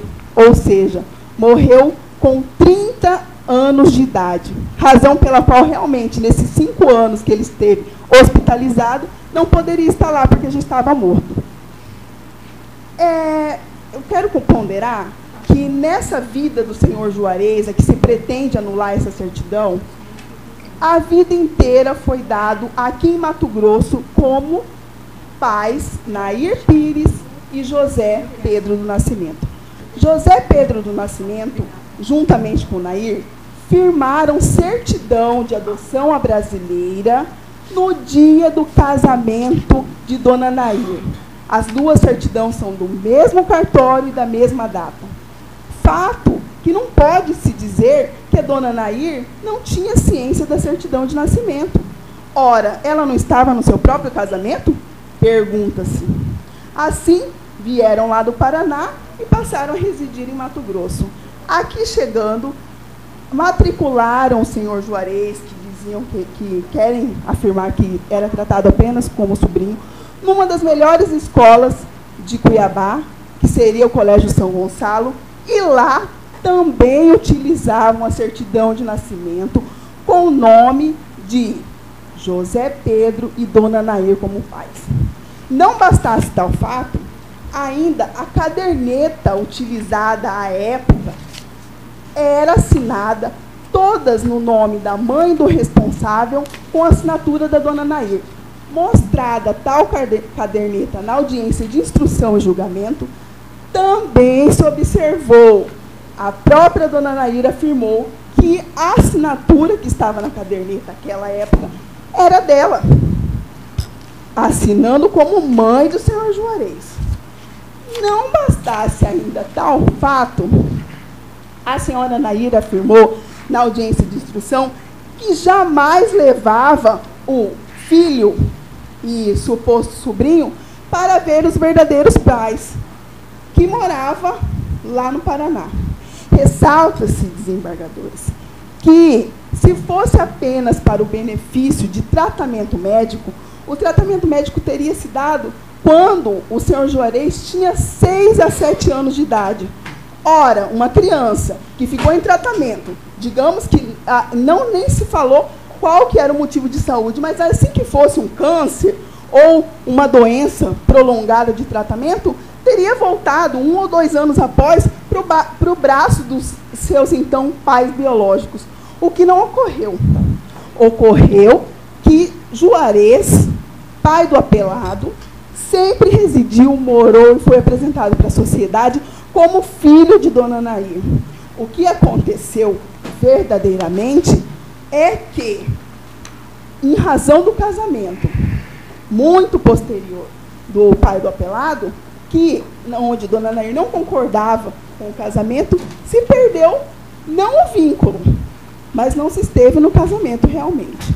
Contudo, também foi juntado nos autos a certidão de casamento do senhor Juarez, onde consta o senhor, deixa eu ver o nome, Olavo, irmão da senhora Nair, sendo simplesmente o padrinho do casamento do senhor Juarez. Ora, se a senhora Nair afirma que não sabia que seu nome constava na certidão de nascimento deste, seu irmão não teria lá atrás, no dia do casamento, o alertado? Olha, minha irmã, seu nome está lá na certidão de casamento do senhor Juarez. Não, assim jamais houve tal alegação. A verdade é que José Pedro do Nascimento nasceu, é, morreu, tendo como seu filho Juarez.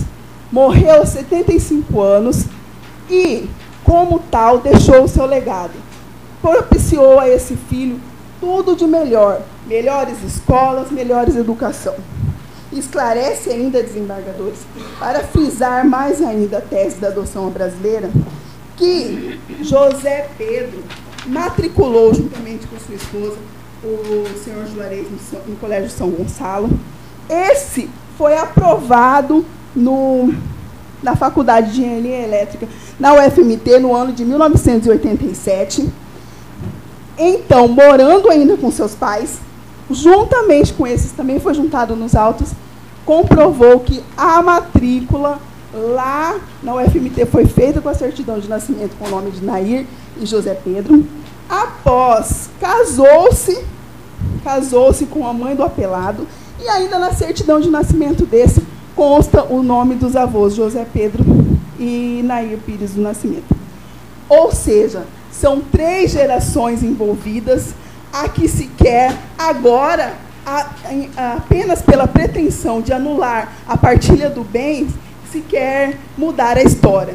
Não se pode mudar a história de uma pessoa, posto que o nome, inclusive, se muda, porque na certidão de primeira é, está Juarez com Z e a utilizada Juarez com S.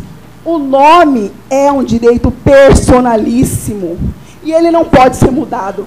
A história de três gerações não se pode ser mudada simplesmente pelo fato da sanha de não partilhar os bens. Diante de todo exposto, requer que seja mantida na íntegra a decisão proferida pelo juiz de primeiro grau. É o que se requer. Consulto o ilustre procurador de justiça presente para a manifestação.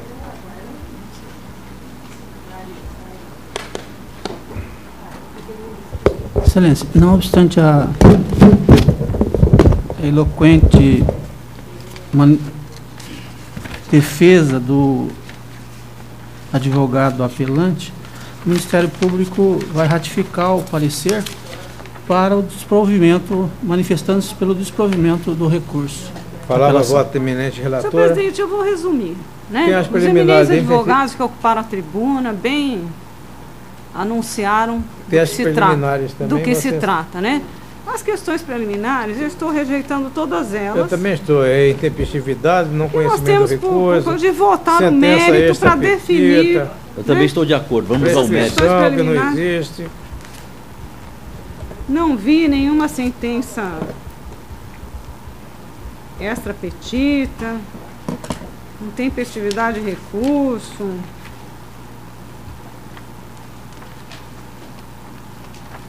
Tem outra questão, nulidade por ausência de intimação do MP, decadência e prescrição. Eu também estou rejeitando. Também rejeitado. Esta To- Todos eu tese- estou rejeitando, senador. De acordo. atos nulos não são passíveis de prescrição, né? Então elas podem ser, enfim. Agora, com relação à tese da é apelante, dona Nair, né? Não estou errado aqui, viu, senhor presidente? Estou apelado, é apelante. Apelante, dona Nair Dona Pires Nair. Nascimento. Infelizmente, eu não tenho como adotar essa tese do apelante. Estou aqui me valendo dos documentos que demonstraram que ela, tanto ela como o seu esposo, marido falecido, desde o Colégio Salesiano São Gonçalo, tem o documento folha 261/264 e também 292/298. Então tem prova documental que dá a conotação de que havia sim essa relação de de Afetividade. aproximação, afetividade entre eles, apesar de se tratar de sobrinho E são 49 anos, né, do, do sobrinho do esposo falecido da dona Nair, né? Então, tudo indica que esse senhor, ele pegou esse rapazinho de seis anos, o trouxe consigo na data do casamento, como tem prova documental, ele acabou registrando novamente. Então, ele já tinha um registro anterior de nascimento. Só que no- na data do casamento, o esposo da dona Nair e ela, no mesmo dia, no mesmo cartório, fizeram nova certidão consignando que se tratavam de pais desse menor. O que aconteceu é que depois de acompanhá-lo na escola, no Colégio São Gonçalo, cuidar desse menino de seis anos, ele cresceu, foi para a faculdade, depois de um certo se casou e ele faleceu antes do, do, do, do pai, aqui assinando como pai nessa segunda certidão. E agora, depois de passados tantos anos, né, abre-se a questão referente a bens e etc e tal, e essa discussão veio à tona, onde se pretendeu aqui anular esse segundo registro para manter o primeiro. E o juiz fez o quê na sentença? Declarou a nulidade do primeiro e manteve a validade do segundo, entendendo que houve uma relação afetiva e manteve a adoção à brasileira.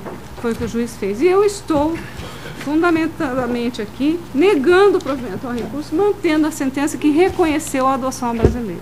Eu fiz a revisão, cheguei ao mesmo entendimento de Vossa Excelência, eu afasto as preliminares e no mérito conheço e desprovejo o recurso, é como meu voto. Eu também reafirmo que afasto as preliminares e estou de acordo com o voto e Sua Excelência, a relatora.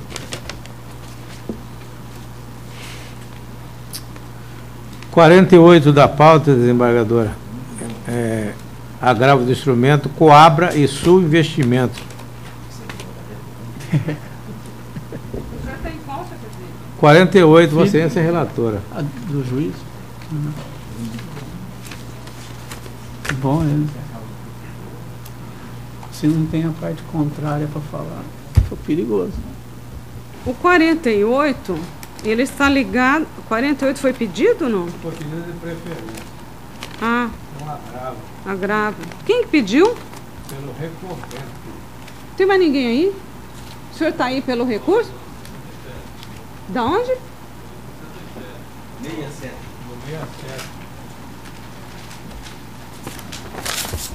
Não, da cobra não tem ninguém aqui não, senhor presidente. Eu, Ação declaratória de inexistência de débito. Sustação de protesto é o da Coabra. 48. É o 48. Coabra, né?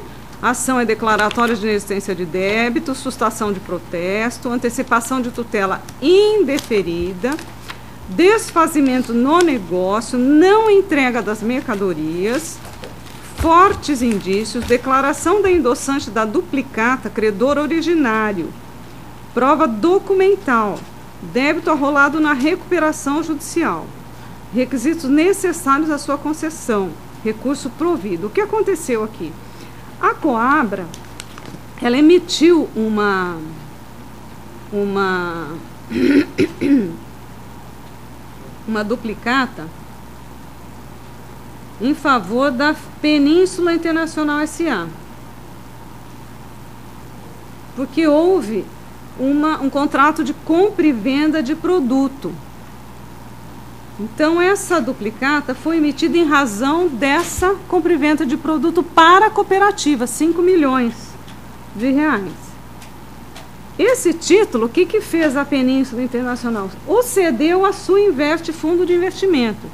Porém, ele declarou, e tem declaração aqui, para todos os fins, que o contrato de compra e venda de fertilizantes, tarará, tarará, vinculado à nota fiscal, não foram performados. O senhor conhece essa expressão? Não foram performados? Concluídos. Performados. Performados. Em função do atraso no embarque da matéria-prima pelo exportador, KCL 60% granel, acarretando assim o cancelamento do negócio.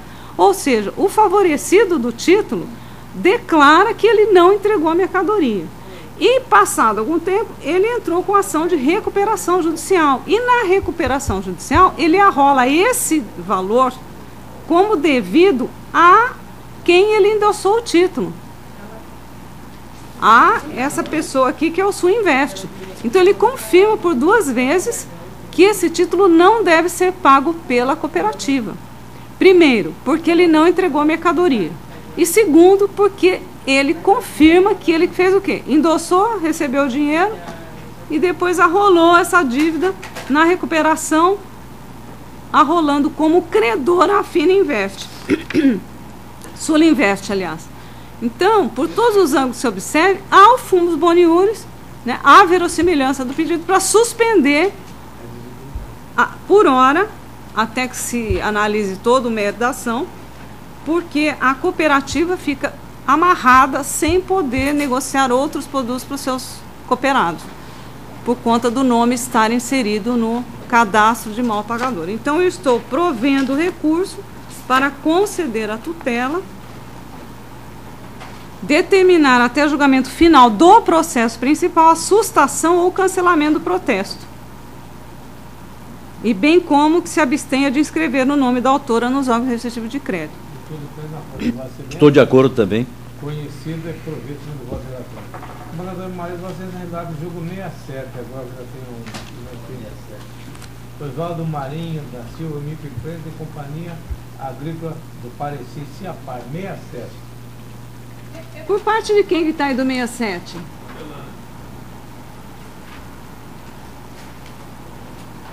Apelante. O senhor recebeu meu voto, senhor presidente? É, eu, eu estou anulando a sentença, eu tenho até eu sou super voto escrito aqui, desembargador. Mas eu eh, anulo a sentença homologou lá do posterior e desavisa a recimentação por consequência homologou. Homologuei o lado anterior, já tinha.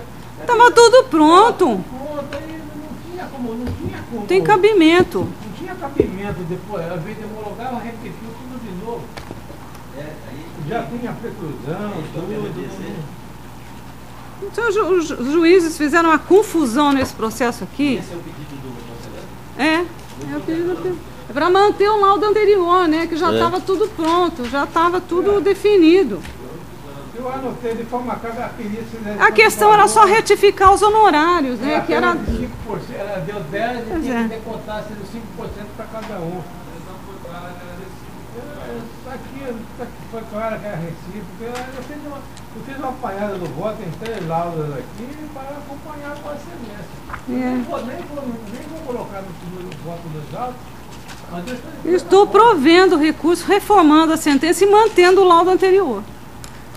Eu estou de acordo. Inclusive aquele que retificou os honorários, que houve só uma questãozinha de honorários. Só. É, invés de ser 10%, ele tem que ter Cinco para cada um. Pronto, lado. era só isso, Mesma nada mais. coisa com Vossa Excelência. Então, provimento. Agora nós julgamos o 49 da parte. Bom clima, comércio, combustível e banco safra. A minha preferência, não tem ninguém mais aí. Agravo cautelar de arresto, deferimento de liminar, cédula revestida de. Esse aqui, senhor presidente, é aquele cuja desembargadora Marília, o senhor se recorda que ela, ela votou diferente, mas nós estamos cansados de votar esse aqui. O senhor se recorda da sessão anterior? É, é arresto mesmo? Tá, arresto. Tá dando arresto, né? Recurso desprovido. Não, o juiz deu, deferiu a liminar de arresto. Então, 21, Não tem, eu estou. né? E só desaparece da noite pro dia. Eu Tá estou. mantendo a decisão, né? Estou mantendo. Estou de acordo. Conhecido e desprovido. E nossa reunião? Já passamos, já foi. Quatro horas. já. O senhor Márcio está esperando. Vamos Está esperando. o seguinte. Tem um monte, muito agravo, eu tenho um monte de agravo. Conheço. Eu tenho um monte de agravo disso. Mas vamos, vamos, eu vamos fazer o seguinte, desembargador, vamos usar esses agravos? Esse aqui, do, é- esse do, da Prague, esse aqui está sendo, eu estou, embargo de declaração, que eu estou acolhendo em parte. Esse aqui. Estou menos, vou julgar pelo menos o processo de hoje. né? É. De acordo. E- Esse da Prasley também, desembargador, eu estou re- rejeitando também. Eu não tenho. É em bagulho? De acordo. Esse agravo regimental também, que fixou no horário de 3 mil reais. eu De acordo. Decisão. Ah, tá. Tem outro regimental do Porto Seguro também, que a questão dos honorários de 15% também, que eu estou mantendo os 15%. De acordo. por decisão monocrática. Tem outro embargos de declaração também que eu estou rejeitando, que é só apenas re, rediscussão De da acordo. matéria. Tem este aqui, outro aqui, o 10 da Paz, Oswaldo Elke e Banco Bradesco. Esse aqui eu estou acolhendo esses embargos, anotando que houve prescrição apenas em relação ao colo do plano 1, em relação ao, colo, ao plano colo 2 não está prescrito, foi feito, foi feito o contraditório, então este aqui eu estou acolhendo que realmente do plano colo 2 não está prescrito. Cadê a? De acordo. Este outro agravo re- regimental também é que ela está discutindo que preenche os benefícios da justiça gratuita, discutindo o mérito. Lá eu digo que o Banco Cruzeiro do Sul, em liquidação extrajudicial, não tem direito à, à gratuidade da De justiça. acordo. Eu estou mantendo. Tem outro embargo de declaração da Buritis também, que é só. Eu, eu estou acolhendo para eu estou acolhendo para suprir a emissão e determinar que a companhia de crédito, no prazo de cinco dias, proceda às exclusões da restrição do nome do embargado do Serasa, que essa, ficou omissa essa parte, eu estou determinando, De acordo. sanando essa. E finalmente esse, esse outro agravo, é, embargo de declaração, que é rediscussão da matéria, eu estou rejeitando. Agora votamos a Vossa Excelência. Votamos a Vossa Excelência. Vamos. A Não, não, pauta complementar, né, Nilda? não, não, temos, temos processo de Vossa Excelência, apelação ainda. Não, mas vamos julgar então os, agra- os embargos de declaração. Então vamos julgar os embargos de declaração de Vossa Excelência. Podemos julgar em sequência aí? Eu só vou. Os, todos os meus embargos de declaração são rediscussão da matéria. Então Vossa Excelência rep- Seria o 1 e o 2 da pauta complementar 3. Eu estou desprovendo. De acordo. E os regimentais, eu estou também desprovendo. O 3, todavia, eu estou provendo, porque houve um pequeno erro material, mas eu estou fazendo no regimental, porque Perfeito. eu constei, era, era não, é DPVAT, e constou que o salário mínimo à época era 136. Na verdade, constou como 151 reais o salário mínimo à época, só que na verdade não é 151, e sim 136 reais. É De só acordo. essa correção. Então, provido para corrigir esse erro material. O 3 da pauta, o grau regimental está provido. Perfeito. E o 4 e 5 e 6 da pauta complementar 3, apenas rediscussão da matéria, reedição dos termos das contrarrazões, revisional de contrato, é aqueles que nós julgamos que não tem nada a ser revisionado. A, a OI também entra com regimental, decisão fundamentada. E a Luana também contra a Iune Educacional, agravo regimental. Eu estou desprovendo os- todos De acordo. Todos de acordo.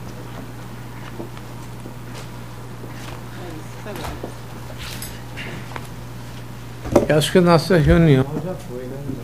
Não, agora eu não vai iniciar, vou terminar sem a vossa presença. Ah, não, mas eu nem vou lá, não. Vai terminar assim.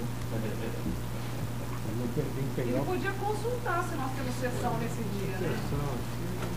Não, pode, nós estamos no nosso processo de atrasado. Tem mais, tem mais alguma É, coisa? tem muita coisa ainda, aqui tem muita coisa. Nossa Câmara não julgou quase nada esse mês, né? Nada, nada, não jogamos nada. Dois sessões minhas não jogar o meu. Não, aquele dia o Vossa Excelência jogou todos e Vossa Excelência Mas foi no mês passado. Foi o meu que ficava pra trás. Foi no mês, foi no mês passado. Agora assim, a briga aqui é um e um, é isso. É. Então agora, mas eu tenho, então eu tenho as duas aí que eu Eu não sou jogo. né? à última instância nessa Ah. Nossa senhora. Na, na, na outra semana eu vou julgar o meu. Tudo bem. Desembargador, vamos julgar o 42 da pauta. Agravante Oswaldo Marinho da Silva e agravado Itamaraty. Você é a relatora. Fala aí, emenda, por favor.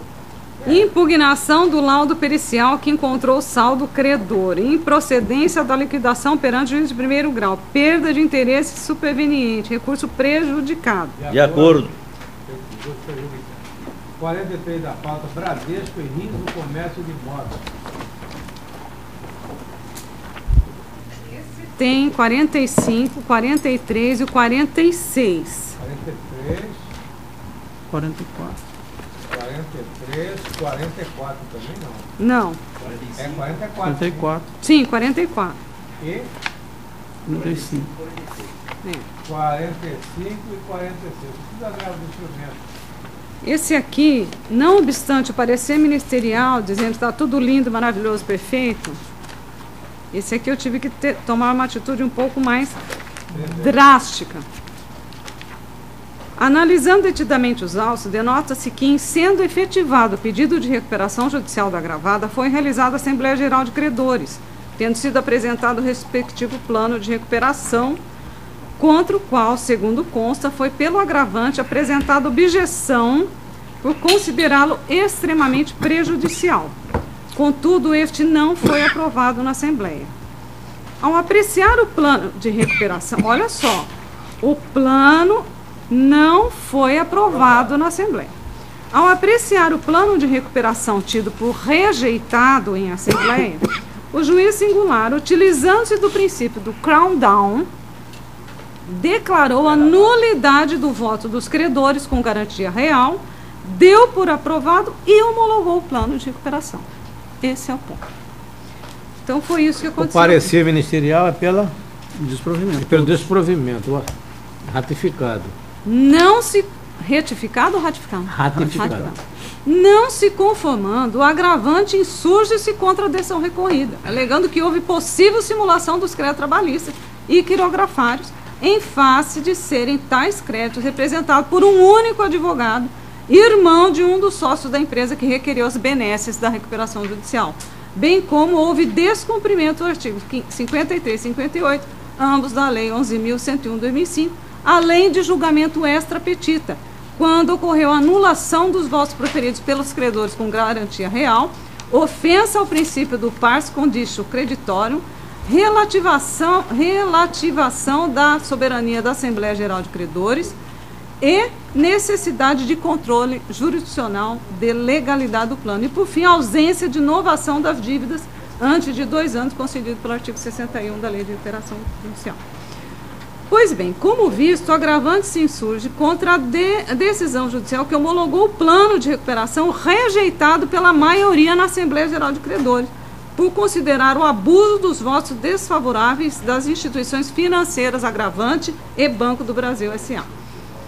É importante salientar que a análise do plano de recuperação judicial, nesta fase recursal, circunscreve-se ao controle de legalidade do procedimento esse, o procedimento, encontra-se no enunciado 44.1 da Jornada de Direito Comercial do Conselho da Justiça Federal, que assim dispôs.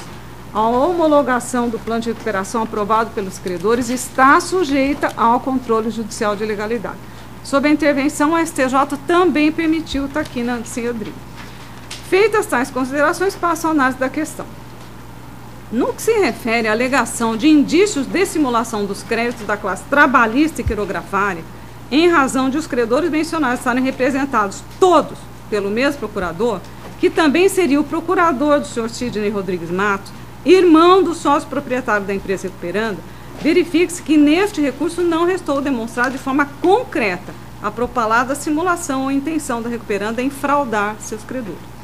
Contudo, para a garantia da lisura do procedimento, por cautela, deve o juiz da causa determinar ao administrador judicial que proceda a devida checagem na documentação contábil, extratos bancários acerca da origem do suposto débito apontado como simulado. Aliás, sua função é exatamente essa desde a sua nomeação. E se de fato houve a transferência do valor ali estipulado à recuperanda para justificar sua inclusão no rol de credores. Então, eu estou dizendo o seguinte. Esse voto é para eles todos, Eles estão apontando a simulação desse crédito do Acho irmão. Que eu esse processo, não? Do irmão desse sócio.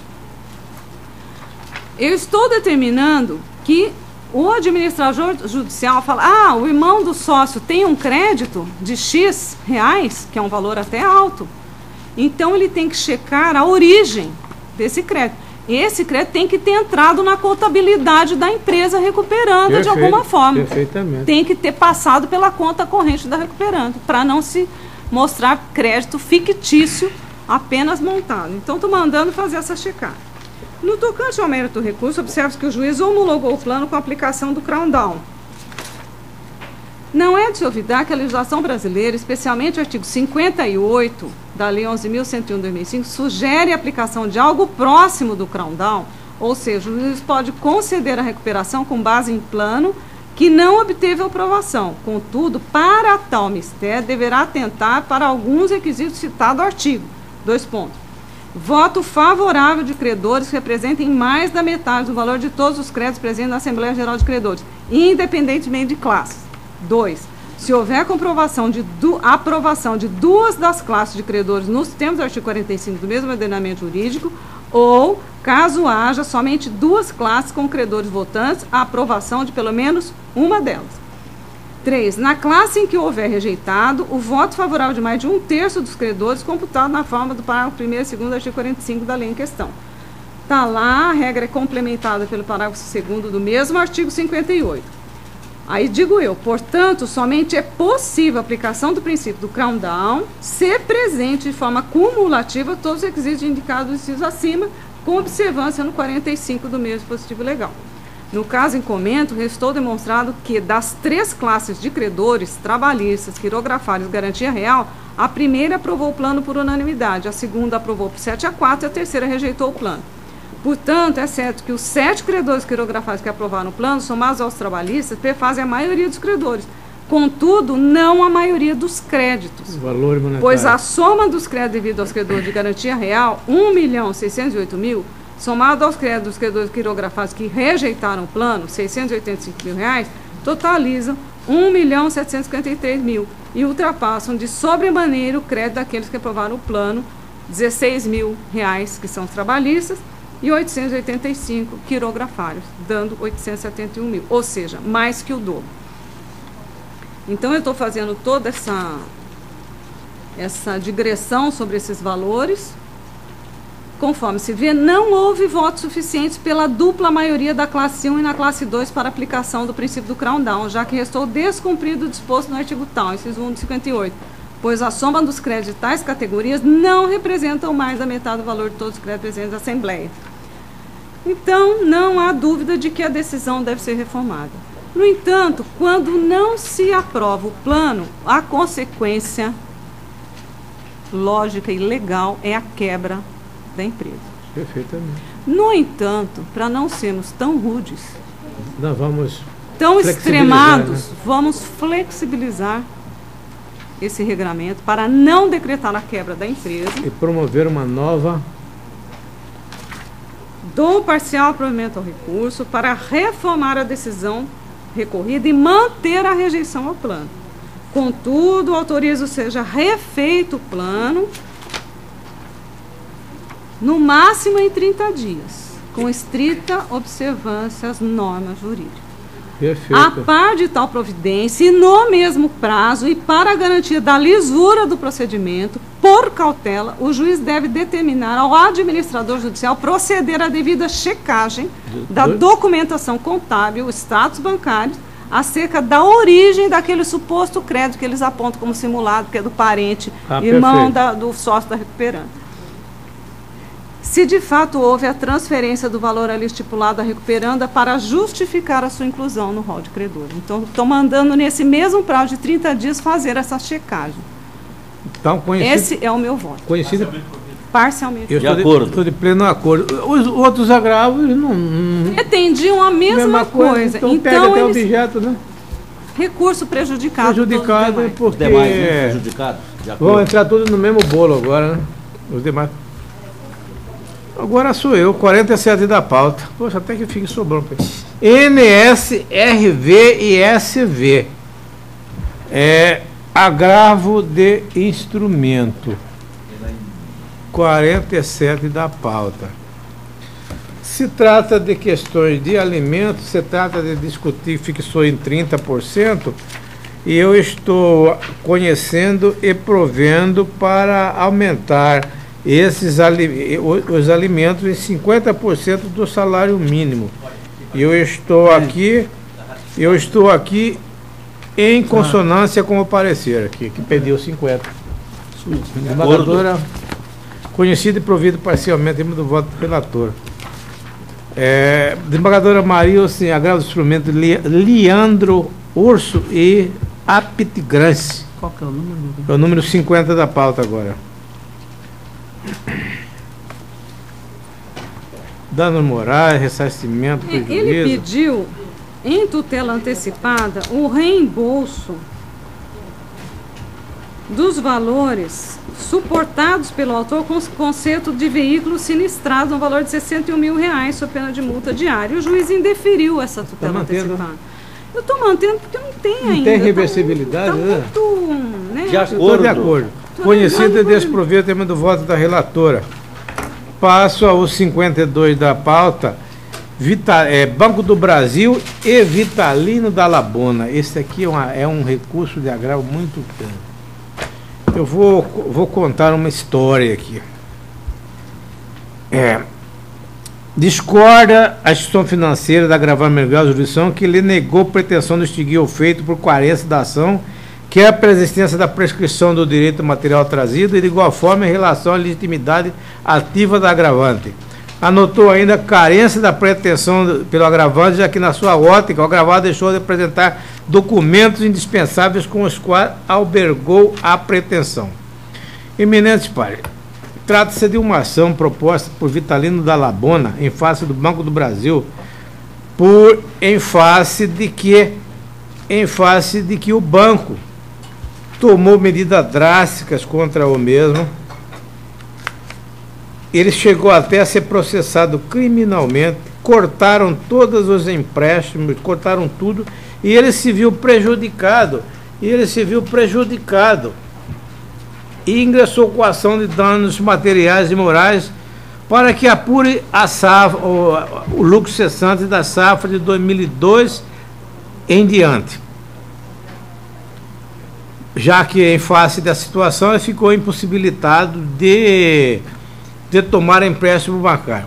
Agora, com relação à, à ilegitimidade do agravado Banco do Brasil, eu estou aqui rejeitando essa questão, porque no recurso, no recurso de apelação, em que se discutia a safra de 89 a 2001, a quinta Câmara Civil assim o fez e a, a, a, a, e a, a situação é a mesma.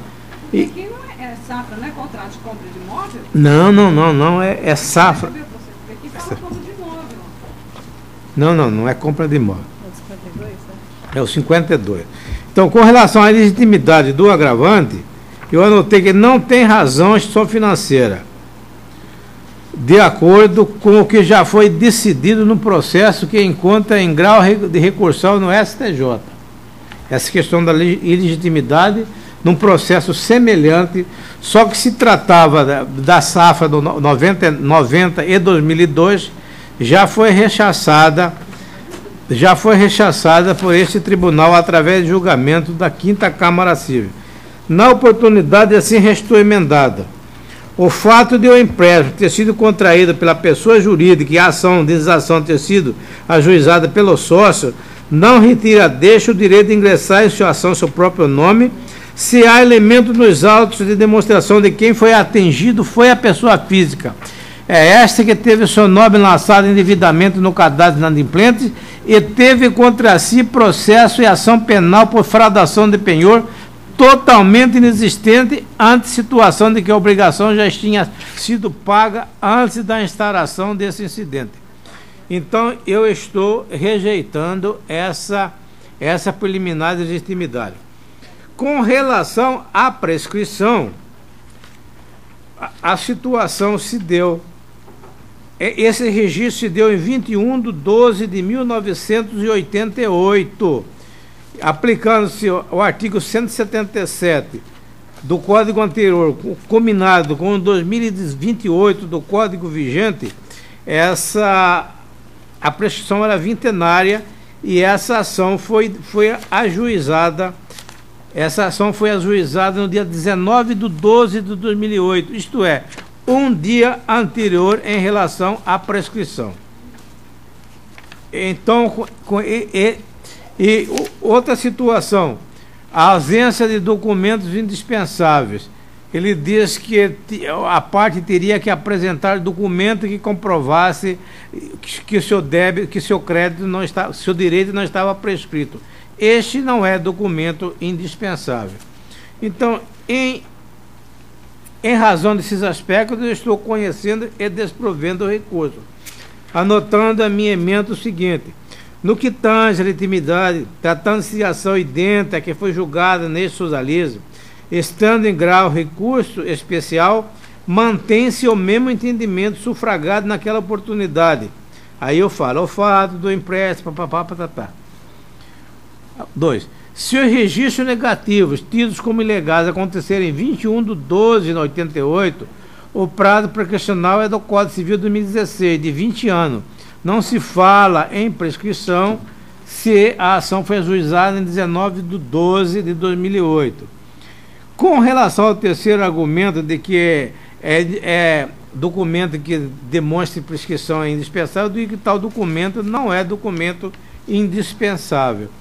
Eu tenho aqui no meu, esse é o meu voto, que eu fiz juntar também uma cópia do acordo da apelação 57.014 de 2008 de Tangará da Serra, envolvendo as mesmas partes, os mesmos, as mesmas, a mesma situação, cuja ação foi julgada procedente e está em grau recursal no STJ. Esse é o meu voto. De acordo. Presidente, envolve até instauração de investigação criminal. Aqui, Exatamente. Né? Eu vou pedir vista. Tá. Para me, me, me, certificar melhor. Tá. Do, essa, essa, justamente essa investigação criminal. É contra o, o autor da demanda? É, o Banco do Brasil, o que, o que, que ele tinha? Ele tinha um crédito, ele tinha um débito e foi lá e pagou. E o banco mandou instaurar por defraudação de penhor, quando na realidade não existia nem mais o débito. Então ela respondeu a ação penal que foi arquivado por esse motivo. Aqui, aqui eu tenho tanto o meu voto como o voto, a cópia do acordo, a cópia do acordo de 2000 que foi julgado em 2008, a outra ação. Então esta eu, é... Eu, eu, é, como tem cópia aqui do inquérito criminal, eu vou pedir vista só para saber o que está acontecendo eu... aqui. Aguarda, né? Eu, não, não, eu não aguardo, eu já antecipo meu voto, eu acompanho a Vossa Excelência, porque na quarta-feira que vem eu terei uma, uma consulta médica com oftalmologista e não poderia estar presente. Tá. Eu, não, eu, eu então, acho que dispensa a minha tá. presença, eu antecipando meu tá. voto. O, o, então é recurso conhecido. É, o, primeiro, o relator e a, o primeiro vogal conheceram e desproveram. Desembargadora Maria, aqui de Vossa Excelência vai, ter, vai ler meu voto e Vossa Excelência vai ler também a cópia do. Ó, aqui, ó. Tem cópia do acordo então, de, uma outra, de, uma outra, decisão que está no, no STJ. STJ, é, Vossa Excelência mencionou. Então, vou... por favor, senhora, a hora de tá. encaminhar o voto, Obrigada, encaminha a cópia do, do acordo. Tá, obrigada. Pode passar já para ela, porque está no sistema, né? Pode. Mas esse aqui não está no sistema? Não, esse aí não está, mas aí não, não, esse não precisa estar no sistema. Está no sistema o meu voto, então pode passar para ela, já sem problema. Pode pôr dentro do processo? Pode. Desembargador Sebastião. Ah, sou eu. 53. Agravando Jordino Arruda André e agravado Miriam, Miriam Dolores Azambuja. É o 53 da pauta.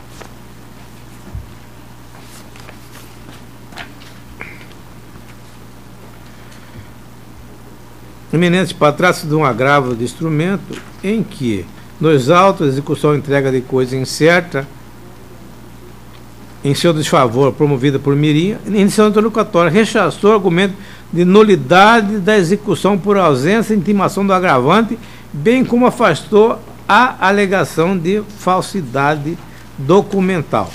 E, eminente eu eu acho que, com todo respeito, eu acho que só a emenda já esclarece. Eu estou conhecendo e, e, e desprovendo o recurso com aplicação de litigância de má-fé ao, ao ímprobo litigante. Eu anotei o seguinte: se a parte, em sede de execução, elabora acordo, pactua que o débito será pago em parcelas mensais e consecutivas e não o faz, independente de nova intimação, o processo que segue normalmente dentro do convencionado e homologado. Ela, ela diz que o processo é nulo porque ela tinha que se intimado que o processo de execução tinha que prosseguir. Esse é o primeiro item. Agora, B. Se, se a parte na transação se compromete a apresentar bem garantia em juízo, também é de necessário nova intimação para que cumpra o ato. Também eu estou desprovendo nessa parte. C. Não há como acatar a petição de perícia para fixação de falsidade de assinatura no mandado de intimação, quando esta é referendada pela certidão de social justiça, quando, quando não havia necessidade de tal intimação e, sobretudo, porque a olho nu se vê que as assinaturas são iguais. Eu anotei agora. Se a parte deliberada recalcita no cumprimento, então eu estou aplicando a multa mesmo, que aqui a situação. De acordo conhecido e desprovido com aplicação de multa. Olha, olha desembargadora, eu confesso. Falta gosto, muito ainda? Falta muita coisa. E, acontece que a aplicação de multa, desembargadora, dificilmente eu aplico, mas nesse Não, daí. Tem tem que aplicar mesmo. Eu estou com os 54 da pauta. Os 54 da pauta, desembargadora. Se trata. Deixa eu ver aqui pelo elemento de uma liminar concedida pelo juiz de piso para sustação de protesto. Ele concedeu a liminar e eu estou. Ele não concedeu a liminar, aliás. Pelas, e eu estou concedendo, porque neste caso, sim, existe. Olha, tratando de liminar, é necessário fazer a concessão do presidente do e Mora, de maneira acumulativa e simultânea. Se o juiz se revelar presente em termo, novamente, a liminar deve ser deferida em necessidade de prestação de cação idônea. Incerteza e imprecisões sobre o direito material do postulado não pode assumir a força de impedir o acesso à tutela cautelar. No que toca ao perigo mora, há de se vislumbrar o dano potencial de risco que corre parte no processo principal de não ser útil ao seu interesse.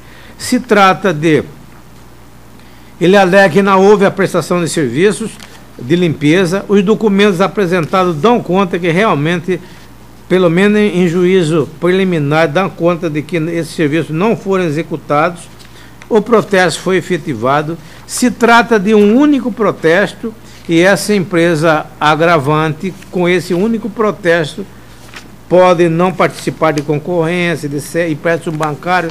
Então, neste e presta calção também. Eu estou dizendo que é sim para que seja concedida a liminar. Dando provimento. Dando provimento. Desembargadora Maria. De acordo. De acordo.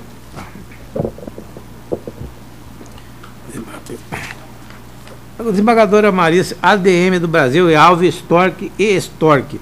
É uma apelação, é o 56 da pauta, desembargadora.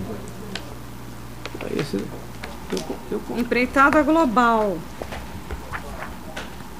Estou desprovendo. Eu, é, é, não, pois é, eu também estou estou de pleno acordo com a eminente relatora. Anulação e eu estou de acordo com ambos.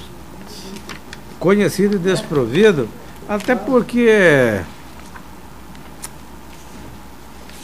tem uma cláusula que faz na aquisição do material serão né, é, tem a cláusula é aquisição na aquisição do material serão utilizados de maneira emprestada a ADM concorda que o vendedor realize o faturamento diretamente à ADM e ela, tá, e ela acha que não, que agora ela, ela quer ela contrariar a cláusula que ela estipulou. Por isso estou de acordo com Vossa Excelência. Conhecido e desprovido.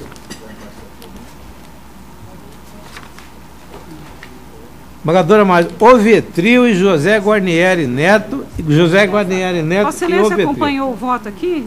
Acompanhei. Nesse aqui também estou de acordo com Vossa Excelência. Então é Inclusive, apelo do réu reconvinte desprovido, apelo da autora reconvinda provido em parte. Exatamente. É, por venda dos honorários, né? Eu estou de pleno acordo. Desembargador Sebastião. De acordo. Anota aí de novo para a desembargadora Marisa, por gentileza, a conclusão. Apelo do réu reconvinte desprovido apelo da autora reconvinda, provido em parte. Só para majorar os honorários, né? Para 30 mil reais. É, eminente pares, eu, eu estou jogando agora 51 da pauta, agravo do instrumento Taylor Serler e outro, Giovanni Luiz de Souza. Também o juiz, o juiz, na ação de cobrança, movido em favor de Giovanni, deferiu o bloqueio de 19.500 sacos de garantir eficácia de futura sentença de procedência. Ela diz que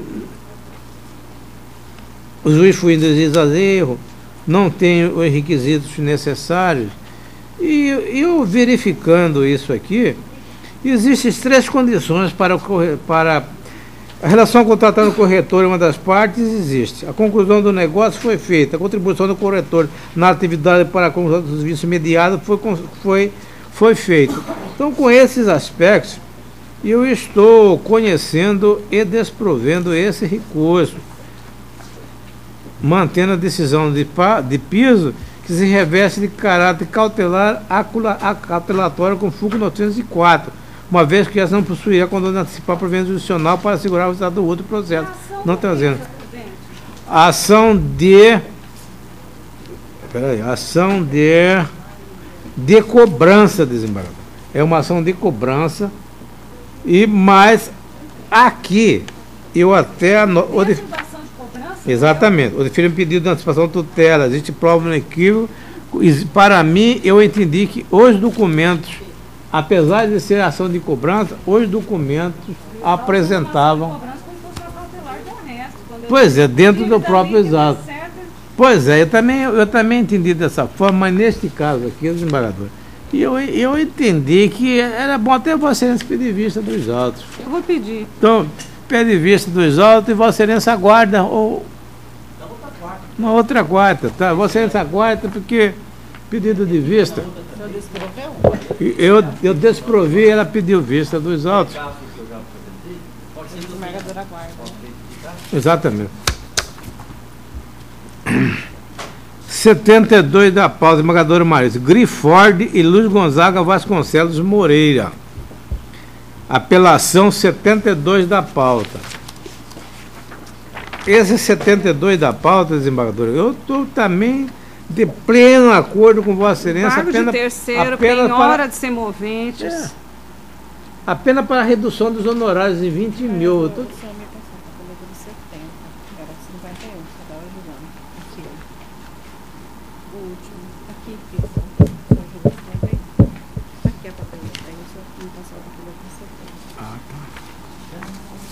aí.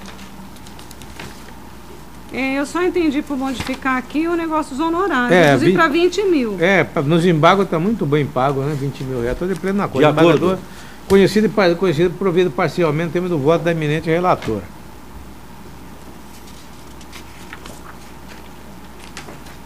Setenta da pauta sou eu, Transportes Ívoglo e 35 distribuidora de automóvel.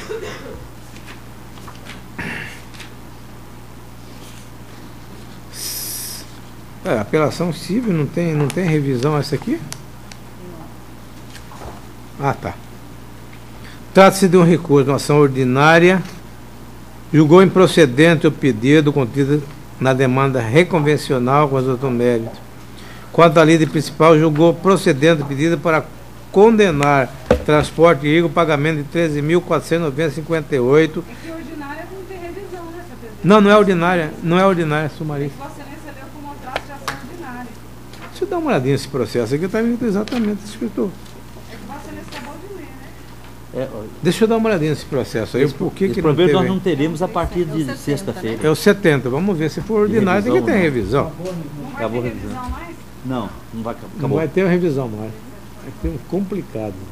Ah, não, desembargador, vamos liberar. o- Eu vou liberar o senhor, continuar, porque Eu também vou, da mesma forma, liberando. eu vou continuar liberando o. Sim, mas eu, eu, eu- eu acredito que é a, a partir de, de- do dia Não, 18. eu sei, mas eu me sinto mais segura que o outro já está lendo. Tem- antes, ah. Foi Ah, lápis, sim, não. foi lápis. É, eu tô disso, Eu ah, estou retirando de. Ah, a outra revisão, até eu encaminhei a outra revisão e não foi. Então estou retirando de pauta esse aqui. Adiante. Retirando de pauta, que vai mandar para a revisora. Tá. Vai com vista. Está com vista, já está. Consta do meu relatório para mandar para a revisora, não foi. Esmagadora Maria, se Vossa Excelência se julga agora o 73. Vanderlei Feite e Jaqueline Feite. Interdito proibitório, procedência, preliminar de impossibilidade de direito pedido, área em condomínio, pró-indiviso, rejeição, proteção possessória, boletim de ocorrência, presunção relativa, declarações unilaterais, validade desde que corroborados por outras provas, ausência dos requisitos, não comprovação da ameaça de tubação e esbulho, ação improcedente, recurso provido. E eu estou de pleno acordo com Vossa Excelência, até porque a, a autora teve oportunidade de produzir prova e não a produziu. De acordo. Conhecida e provida no termo do voto da eminente relatora. Esmagadora Marícia, JCB e VBF. Revisão de alimentos, ex-cônjuge, improcedência, alteração financeira das partes não comprovada, formação profissional técnica do alimentando e existência de filhos maiores e capazes. Recurso Não tem interesse o desprovido. Ministério Público nessa daí. Você está mantendo, né? Desprovendo. Eu também estou de pleno acordo, acordo. com Vossa Excelência. Esmagadora Marilce, 76, Sapezal Energia, espólio de Maria Valério e Maria Valério e Sapezal, né? Emprega, é, é, apelantes e apelados. Ação de desapropriação indireta para fins de utilidade pública, procedência parcial.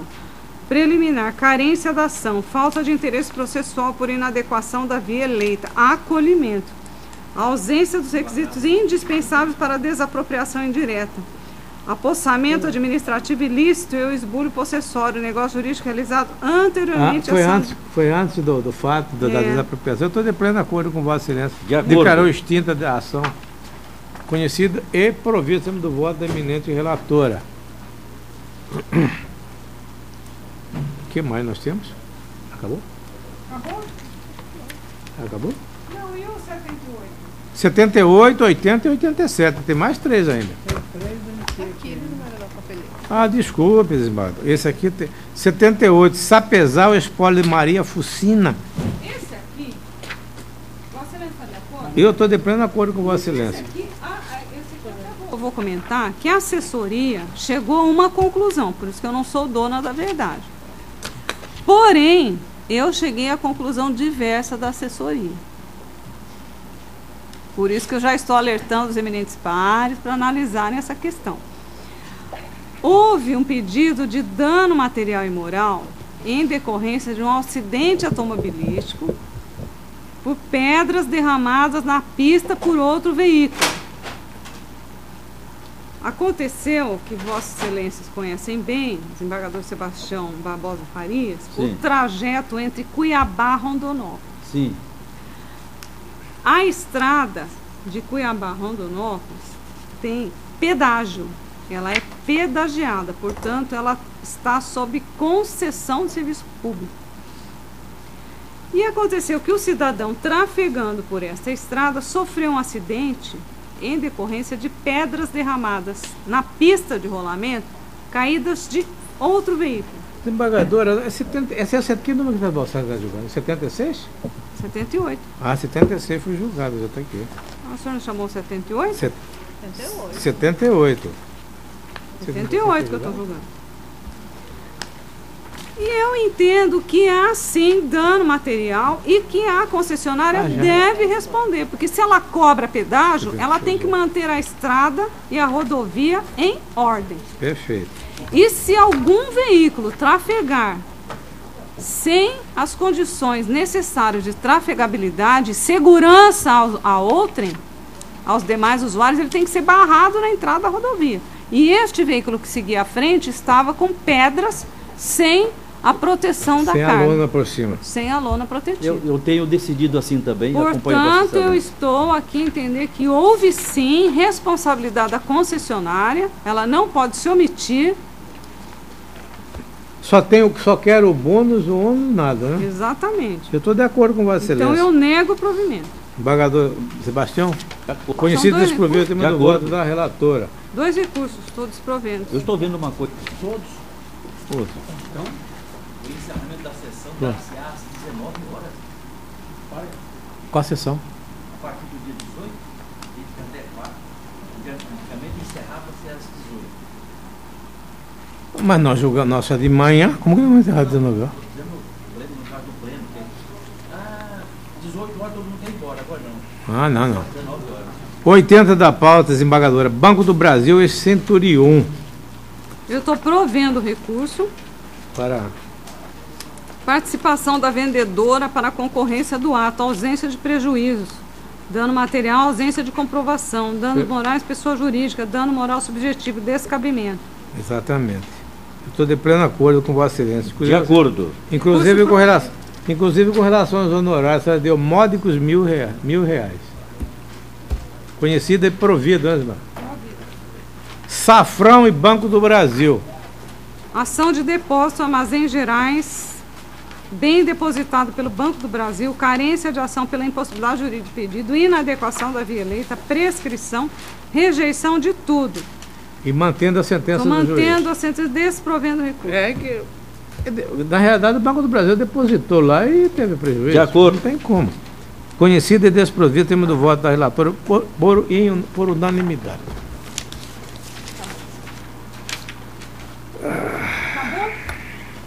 Grato pela atenção dispensada. Foi provido. O último foi desprovido. O, não, o último. Não, o último. Foi desprovido. Pegar meu santinho, pôr na minha bolsa. É, não estamos precisando de fazer essa leitura antes de toda vez, antes, do, antes da sessão. Senhora, olha aqui. Mas eu não perguntei nada, eu só perguntei, você não está fazendo monocrático? Pois agora? é, né? Pois é, né? E ela respondeu que não, mas eu fiquei quieta. É muito, foi muito subjetivo ela entender. Ampliar aquelas questões foi muito subjetivo. Agora, Porque, Nilson, se eu soubesse que estava fazendo monocrático aquilo lá, eu já estava fazendo há mais tempo também. Só isso. Só queria saber para adotar. Adotar. Pronto, esse aqui, infelizmente.